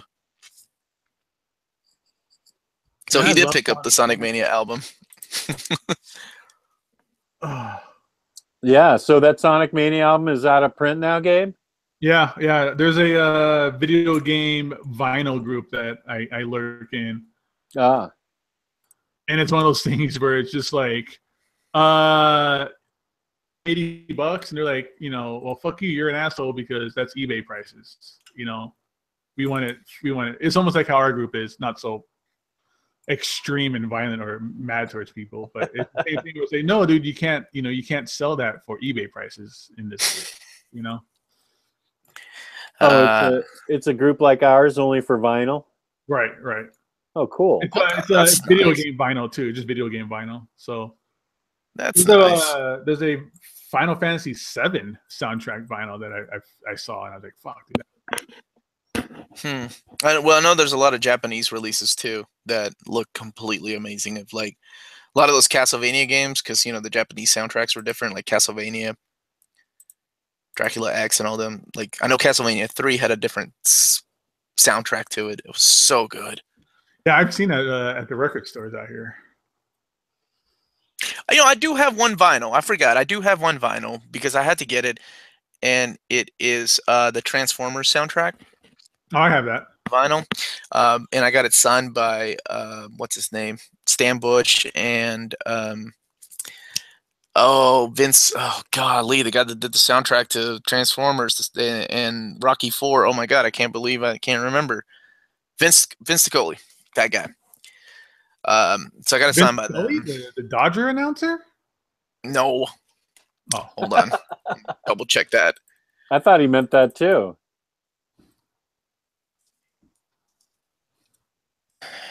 um, but Sonic Mania, yeah, it's going between like it's it's weird. It's all over the place. Uh, between thirty five and eighty dollars for that Sonic Mania uh, vinyl. Mm. Yeah, Vince DiCola, that's his name. I was close.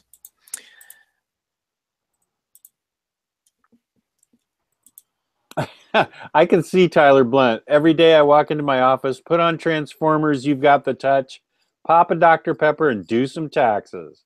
I could totally see that. I can see him dancing around to "You've Got the Touch" That's a his- great song. My kids love Dr that Pepper. song. With his Dr Pepper. I remember uh, that song just because that Transformers animated movie is just such a a cornerstone of my childhood. But then I watched Yeah. um, what was the uh, Dirk Diggler movie called? Boogie Nights. Boogie Nights, and then he's like singing that song, like he did like a record for that song too. Yeah, I saw uh, Stan Bush perform that live, and Vince DiCola. Wow, It was it was really awesome. is that Bunch at, of- like, bunch a, at like a TF con or something? It was uh yeah, it was BotCon a couple years ago. BotCon. Yeah, it was the Transformers convention before. I think we went to the last one. Uh, one of my co-hosts and I, and we covered it. So it was in 2016. Was the last one? I cannot t- wait to tell my wife that you exist. Sweetie, there's a guy that goes to Transformer conventions. I am nothing. I am I am nothing compared to this guy. He is the god among go- uh, nerds. He is the ultimate god of nerds. Wait a fucking minute. You are. You're the god. oh no, BotCon. BotCon. On, man. That's the best. Oh, I'm sure a couple of guys in the group have gone to BotCon. Now it's like Has- HasCon. Well, no, BotCon wasn't a was not an official like con. I, I thought, right? I thought that was put No, on it was it was the one that was put on by Hasbro, and Oh, then was it? uh, yeah, and now they have HasCon. I think it's the one or TFCon. One of those two is the official one now. Yeah, BotCon was bought over by like a Chinese company, and they kind of separated in 2016. so You're saving my marriage. The group is saying you're saving my marriage. you're welcome. As Omar slowly spirals into oblivion, Jess is saved in the wake of it.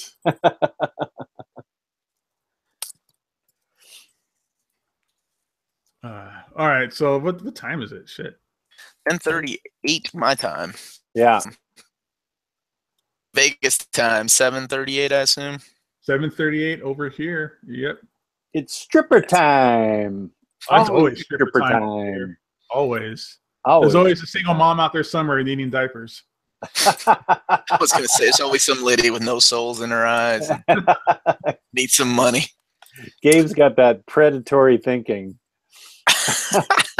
Hey man, you gotta support single moms, man. It- it That's right. single moms.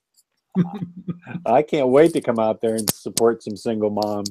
Oh, dude. Uh, I uh, I say things that work I shouldn't say all the time, right? So somebody that kind of gets on my nerves asked me what I was coming as for Halloween, and I was like, "Well, I'm not going to be working here anymore on Halloween, so I won't be here. So you can consider that I'm coming as your dad." Because he won't be there. Because she, she grew up without dad. That's brutal. Wow, man. That is harsh. Yeah. I'm coming as your dad. Did you um, get that Zelda um, vinyl, Gabe? Yeah, yeah, I got that one. That's a really good one. Is Yeah, that the a- Ocar- Ocarina one?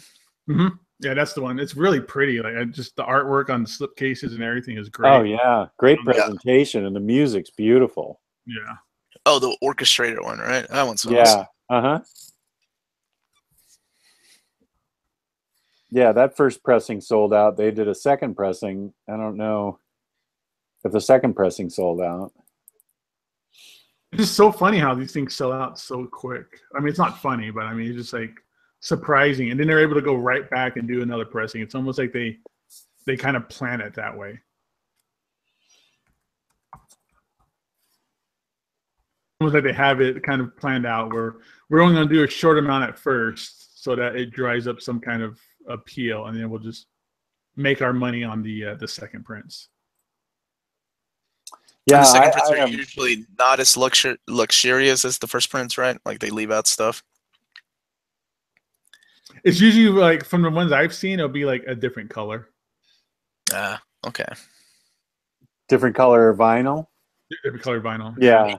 And you know, as bad as you guys are, there's always a motherfucker out there that's collecting all of them. Yeah, he's probably some jerk out there who goes to like Vinyl Con or something. totally guilty of having gone to record convention. Vinyl Con, you guys are busting my balls about fucking.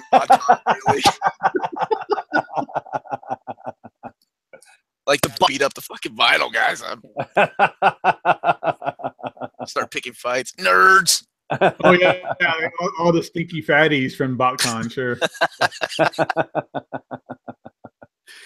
uh, the hierarchy of geekdom. Uh, that bell curve of stinky fatties. Pogs. Pogs. Oh, Pogs. I remember Pogs. I remember I was working at a comic book store and the guy that owned it was like, This is the next best thing, man. I swear. And he bought like so many cases of Pogs. And I'm like, What is this? He's like, Oh, dude, it's like crack kids are going to love it. You guy usually called what was going to be the next hottest item. He was in the Beanie Babies long before anybody else was collecting Beanie Babies. Jeez. He knew he knew how to survive that '90s horrible, horrible uh, '90s market, man the beanie babies where you had to buy the little co- the the protective covering for the little heart tag that was on them. Right. Yep. Yep. The case and the cases, and then like he went moved he moved on to like mat Matchbox cars, and he was always up in the then, next best thing, whatever it was. He was always getting it. But yeah, I remember when he bought all those Pogs. I bet he's buying pop vinyls right now. yeah, those things don't seem to stop, man. No, they don't. Couldn't find my Uncle Scrooge. The, uh, the one in the in the money vault. Yeah, the yeah, the one in the money bin. I couldn't find it. I went to. Good lord, fucking guy my age going into Hot Topic. I know that's really brutal. I've done that too. I mean, do you know what it takes for my ass to go to fucking Hot fucking Topic? I look like a creeper. There's like 18, 19 year old girls there, and they're oh. like, "What are you doing here?" I'm looking for the next pop figure. 18 or Limited 19. It's mostly 13 year olds. I go in there and. Oh just... yeah, I know, but they look 18 and 19. That's even creepier. But yeah, yeah I'm like, yeah. I'm looking for the on pop figure. Can you look at the other store's inventory and see if there's a, a Scrooge McDuck one for me? Yeah. Story of my life, man. Oh, that's how it was last time. One of the vinyls I bought, I got a, uh, a Toy Story vinyl that I bought, and it was shipped to Hot Topic. And I went in there, and it was just like, oh man, I don't belong in here. No, I remember in Hot Topics like 15, 20 years ago, they were all like super goth and scary, and you know, you had to be dared to walk into one of them. You know, well, it's weird, right? Because what what they 15 20 years ago what was pop culture was like you know transformers or things we grew up with like he-man and mm-hmm. flash gordon right now you walk in and, and it makes you feel old you're like fucking shit pokemon is fucking like old because they, they have retro shirts of pokemon and things like that the kids grew the you know people in their 20s grew up with well, yeah, I'm like, I mean, oh my god! I go in there and I'll buy like some '90s like Rugrats shirt, and I'm like, fuck, I feel so dirty buying this right now in front of everybody. But literally, that's where I find like the coolest shirts is at Hot, Hot Topic now. I'm like, fuck, man, I gotta walk in here and go in a fucking Hot Topic, man. I gotta go to Hot Topic and just dig through these pile of shirts, and then you know sometimes I'll just be an asshole and just unfold like 30 of them and leave them there.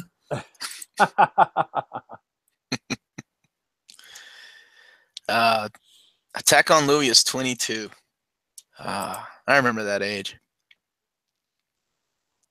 Well, I, I mean, yeah, I mean, I remember like when I was like, oh man, I'm too old for for Power Rangers or Pokemon. I was just kind of just at that age group where it just wasn't too much on my radar. And now it's all back, and all the people Louis age is like, oh man, Power Rangers is back. That's the coolest thing ever. And I'm like, oh, Power Rangers. Yeah, I remember walking into high school with my Dragon Ball Z shirt knew like they were like what is dragon balls? Because that's the way they read it. Are you dragon balls? Yeah there were so many jokes. I'm like fuck it i'm never wearing this shirt again. It happened to me a ninja turtle sweater dude. I got made fun of so bad for a ninja turtle sweater and i never wore it again. It was high school man. I used to wear like a i had a wolverine shirt. They were like oh you like comic books? Now it's so weird. Now it's like it's it's more acceptable right? Which is cool. Oh yeah. I think it's awesome Yeah, but back in my day, we had to hide our comic books. I still, dude, I still hide from shit from real. People. Like, um, my buddy Rob and I talked about this. Like, remember the amiibos, the Nintendo amiibos that came out? Um, there were limited edition ones that were like specific to stores like Best Buy or, or Toys R Us. So we literally stood in line at six o'clock in the morning waiting for like uh, Greninja at Toys R Us. And cars would drive by going, Hey, what are you guys uh, in line for? Now, before any other fucking dork in the line could say Greninja, I was like, Oh, it's the new Call of Duty game. It's coming. There's no way I'm going to admit I'm waiting in line for a fucking toy. For an amiibo? I don't want to get nerd shamed. Nerd shamed. Well, I remember. I, I always tell the story that when I first go to San Diego, like nobody cared. This is like 2000, 2002, 2003. Nobody cared, and I would walk up and be able to buy my ticket. And now, like, it's a fucking line. You have to people wait outside. Like, tickets sell out immediately. Hall H has tents because people camp out. They spend five hundred dollars for you know uh, a ticket to San Diego Comic Con, and they sleep in the grass because they're camping out for for the panels. Yeah, but I that- remember that- I could just walk up there day of the show and just be like, "Yep, you know, let me just get a weekly pass, please." And while I'm here, I'll buy a pass for next week or for next year, so I don't have to line up again. I, it's crazy. yeah, those, those days are long gone, and Dragon Con's catching up, and so is the New York Comic Con. They're they're like that. It's crazy how uh, people go to these things. Of course, like you know, San Diego Comic Con has changed too over the years. It's it's it's everything now. It's TV. It's shit that you're like, what what does this have to do with comics or geekdom, right? Like like TV shows that are there. Yeah. And I it's just so remember the last one I went to, I think it was 2015. I think it was the last San Diego I went to. And they had uh, that, it was a short lived TV show called Pan Am. And it was just about, you know, oh yeah, I remember Oh, that. yeah, I remember that with Christina Ricci. Christina Ricci? Ricci. they had this huge Pan Am like booth, like setup where it looked like an airplane and you could sit down and, and stuff like that. And I was just like, this this is nothing to do with anything pop culture or, or geek related or, or anything like that, you know. But that's just what Comic Con San Diego turned into. It just turned into just this this fest of this black hole that just sucks everything into it, you know. And that's fine. I mean, bring on the new fans, bring on more people. That's that's great. But it's just Yeah, totally not hating on it. It's just so different now. It's way too crowded for my ass. Oh, yeah. That's why I kind of appreciate smaller shows, you know, just with creators. I don't have to deal with like any movie stars or wrestlers or porn stars. Porn stars. Oh, yeah, they're everywhere too.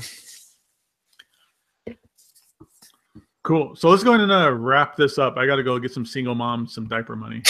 All right. Not really. Got to get my wife and my kids diapers. Well, my wife don't need diapers, but she's asking to go get diapers for the kids. So, huh, so there goes some omnibus money right there. That's not fair. All right, so let's go ahead and let's wrap up this bad boy. Um, real quick, of course, everybody watching and everybody who's joined us in the chat, it's always our heartfelt thanks and appreciation for everybody who joins in. We're we we were sitting at like 35 people watching throughout this show this week, so that's always awesome. Um, so let's go ahead and let's go ahead and let everybody know where they can find us and stalk us on social media. Omar, let everybody know where they can find you, brother man. Okay. Uh, they can find me on my YouTube channel, at, and it's called Near Mint Condition. And we publish a sh- weekly show, usually release them on Thursdays, where the f- four friends, including myself, talk about geek culture, comic books, anime, video games, whatever. Uh, and I'm also in the Facebook group. Group, and if you haven't joined, you should. Uh, you know what? Why is you know what? I'm gonna I'm gonna put the Facebook group link into our our description. I don't know why it's not in there. But either way, uh, Jess, where can everybody find you? Uh, you can find me at ilovebotcon.com. you asshole. you, you can find me on my YouTube channel, OmniDogs Vault. That's OmniDog's Vault, and I also am a member of the Facebook Omnibus group that Riley Moore created, Omnibus Collectors Comic Swap and Community. So All right. reach out and touch someone. I got the touch. So everybody, uh, you can find me uh, here on YouTube under Gabe Infinity Watch. Uh, please, if this is your first time here, give this Omni Bros station, our channel here, a thumbs up. Give us a subscription. We are at 500. I think we're maybe like two away from 500 subscribers. Woohoo! So that's awesome. And I appreciate everybody for doing that. You guys are the greatest uh, audience that we have. Um, you can find me on my own YouTube channel, Gabe Infinity Watch. That's in our description here. Same with uh, OmniDog's uh, YouTube channel as well. And Omar's Near Mint Condition. That's all in our description. So you guys can always check that out and uh, click those links and share the love there as well. I'm on Instagram at Gabe Infinity Watch as well. And uh, I go by Gabe Bustamantez on the Facebook group because that's my government name. And government name. That's my government name. All right, everybody. Again, uh, thank you so much, everybody in the chat, everybody who's viewing us. I hope you all have a great night. Peace and love. Peace and love.